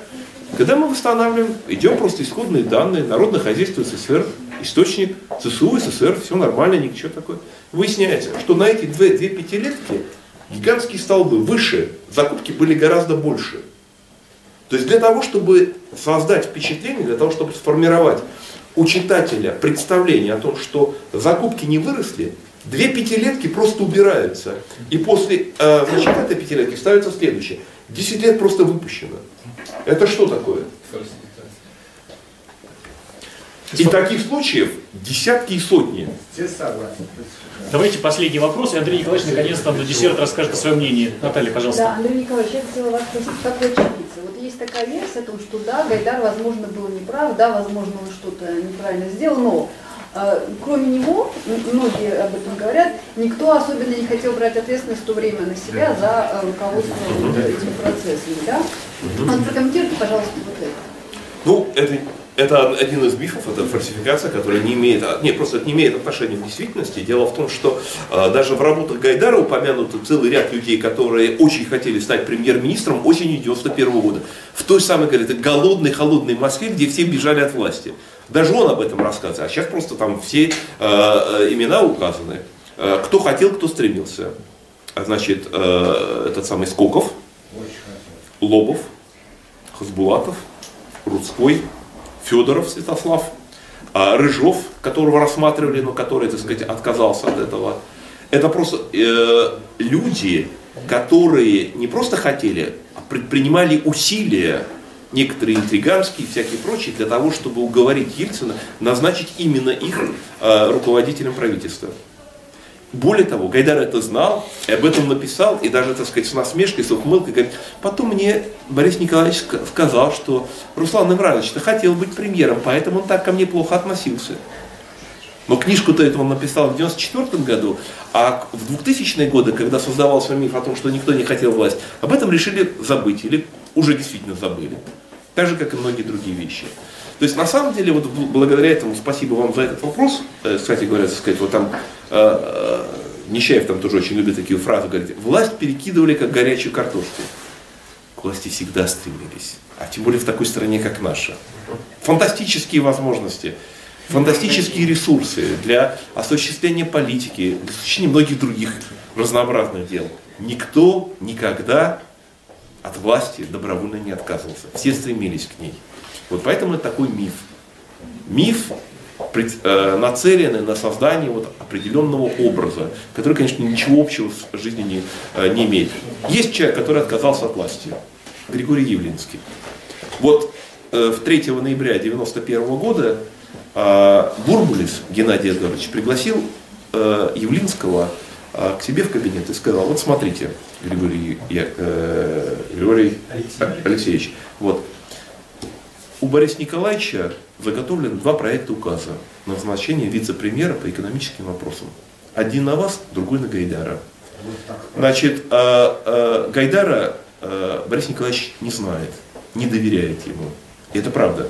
У них до этого была всего лишь одна встреча на 20 минут между Ельциным и Гайдаром до этой встречи. Говорит, вас он знает, вам доверяет. Э, Я, значит, уполномочен предложить вам, э, значит, вот этот пост, если вы согласитесь, значит, будете вы. Явлинский задал Бурбулису два вопроса. Говорит, первый вопрос был, значит, что идет первым? Значит, вот, значит если я становлюсь э, вице-премьером, то тогда все называют экономик ЦА, тогда же везде вот, экономический царь, то есть хозяин по всем экономическим решениям. Значит, говорит, что мы делаем? Значит, вначале мы делаем э, либерализацию цен, или там мы делаем приватизацию, структурную реформу, как вот у него в 500 днях. Бурбулис говорит, мы делаем либерализацию. Говорит, это, это авантюра. цитата, говорит, это авантюра, я на это не пойду. Хорошо, второй вопрос. Что мы делаем с союзом с республиками? Грубо сказать, Россия пойдет одна. Говорит, это авантюра, надо идти вместе, мы не можем оторваться, и говорит, это будет удар по нам. Бурбулис говорит, итак, еще раз повторяю, последний раз, значит, ваш выбор такой. Говорит, ну я не могу пойти на это, значит, если вы мне даете полномочия, я буду делать то, что я считаю нужным. Если, значит, говорит, вот эти две, два пункта не обсуждаются. Это будет так, это приняли решение мы с Борисом Николаевичем. Либерализация цен сейчас, и, а, значит, вот Россия идет одна без республик. Говорит, я на это подписаться не могу. Ну, какая разница, спасибо, до свидания. Гайдар. Гайдара спрашивать не стали, просто подписал указ, с ним ни Ельцин, ни Бурбулис не встречались. Поставили вместе. Значит, Гайдар отказываться от этого значения не стал. Сказал, да, хорошо. Совет никакой роли не играл? Что? Совет. Какой? Нет, ну что, зачем? Ну, как, зачем такие мелочи? Ну, господи, ну зачем же такие? Господа. Вот. И несмотря на то, какие у него были взгляды, какие у него были представления, он принял и исполнил. То есть здесь вот то, о чем, о чем я говорю. Два принципиальных подхода. Кстати говоря, вопрос, тот, о котором мы с Павлом Валерьевичем говорили немножко. Это не о марксизме, ленинизме. Это о принципиальном отношении к важнейшим решениям. Явлинский относился к этому решению как э, к решению, которое принимается более или менее значит, двумя субъектами, находящимися более-менее на равных э, правовых позициях. То есть это некий договор, контракт. Значит, власть предлагает полномочия некоторые, а он как бы выставляет некоторые условия, кто чего может делать. Значит, это контракт между более-менее независимыми, свободными с точки зрения классического либерализма, либертарианства и вообще нормальной правовой теории э, субъектами. Гайдар относился к этому по-другому, как дару, как к благотворительности, как э, к решению босса, боярина, там, кого угодно, как, решение, как отношение холопа к боярину. Значит, дали – бери, дали шубу – бери шубу, дали поручение – дали, дали власть – выбирай, будем делать то, что делать. Два принципиально разных подхода. И не случайно, что в э, книге, там, в, в программе 500 дней у Явлинского начинается все это с, со свободы субъекта, с равных прав и так далее. А у Гайдара этого нет. Все, я ответил Окей. на ваш Да. вопрос. Тогда, Андрей Николаевич, вы обещали десерт. Значит, знаете что, у меня десерт, на самом деле, он большой, это точно выйдет за эти, э, поэтому мы как-нибудь в следующий раз встретимся, этот десерт обсудим детально, а коротко я все-таки на него скажу. На самом деле, э, я э, уже об этом десерте несколько раз сказал, вот в комментариях, в вопросах, э, в ответах, вот в обсуждении. С моей точки зрения, самое главное, объясняющее действие, заключается в мировоззрении в мировоззрении человека, которое не только и не столько сводится к тому образованию, там, марксизм или там, не марксизм, либерта- э, либерализм или либертарианство, нет. Это сводится к представлению человека, что нужно делать, какая его целевая функция. Потому что совершенно ясно, что до 6 ноября 1991 года у Гайдара были один, был один ряд целей. Когда он оказался 6 ноября 1991 года в правительстве, совершенно ясно, что у него были другие цели. И он жестко и последовательно, как тот, сказал, жестко и последовательно занимался осуществлением этих целей. Без относительно к тому, что он писал там. Затем было несколько периодов, когда он попытался вернуться во власть. Это отдельно можем рассказать, где, когда, что. Когда это не удалось, то вот уже в 2000-х годах он поставил перед собой другую цель. Он поставил, ему поставили, вместе они согласились, другой вопрос, другую цель. Создать, ну скажем так мягко, фальсифицированную историю страны. И жесткой последовательно этим не занимался. Поэтому вот весь мой ограниченный опыт общения с людьми во власти и около власти показывает, что каждый из них, и, по крайней мере, из тех, кто представляет себя там, личность, фигуру и так далее, преследует свои конкретные цели. Разные бывают они. Разные. Но они преследуют свои цели. И до тех пор, пока мы не понимаем эти цели, не догадываемся этих целей, мы не понимаем мотивации их действий, какие действия они будут принимать. Поэтому настолько важным для любого общества вообще, даже для демократического общества, но особенно для авторитарного общества, является знание того, какие люди оказываются на вершине государственной власти, каким мировоззрением они, э, какое мировоззрение у них, какие цели у них. Потому что только тогда у нас есть некоторое представление, тогда мы можем что-то из этого, какую-то на- нашу собственную стратегию строить. Вот это самое главное. И поэтому вот коллега психолог, Вот, нам здесь может быть гораздо более полезен даже, чем экономист или чем историк. Экономисты историк тоже что-то могут помочь, там, документы принести, там, распечатать, там, что такое. Но дальше стоит вопрос, что находится у людей в головах, потому что э, самая такая ложная идея исходит из предположения о том, что люди действуют всегда там только ради денег. Да, часто ради денег, ради материального благополучия, но не всегда. Вот вы пришли сюда, многие сюда пришли, не ради денег, здесь денег нету. Шли по другим соображениям. И вот сидим мы здесь там до 11 час, да, то есть как бы тратим свое собственное время, можно было чем другим заниматься. Значит, не только это, значит, есть что-то другое. И это значит, многие другие люди в разных обстоятельствах руководствуются не такими вульгарными, примитивными э, мотивами и причинами, которыми нам э, навязываются, а как нам рекомендует думать об этом либертарианство и классический либерализм, каждый человек индивидуален, исходит из своих собственных представлений о том, что хорошо, что плохо, что важно, что не важно, что должно. И, и, следует, и действует, исходя из этого. Вот поэтому на этой ноте я и завершу нашу. Спасибо, Андрей Николаевич.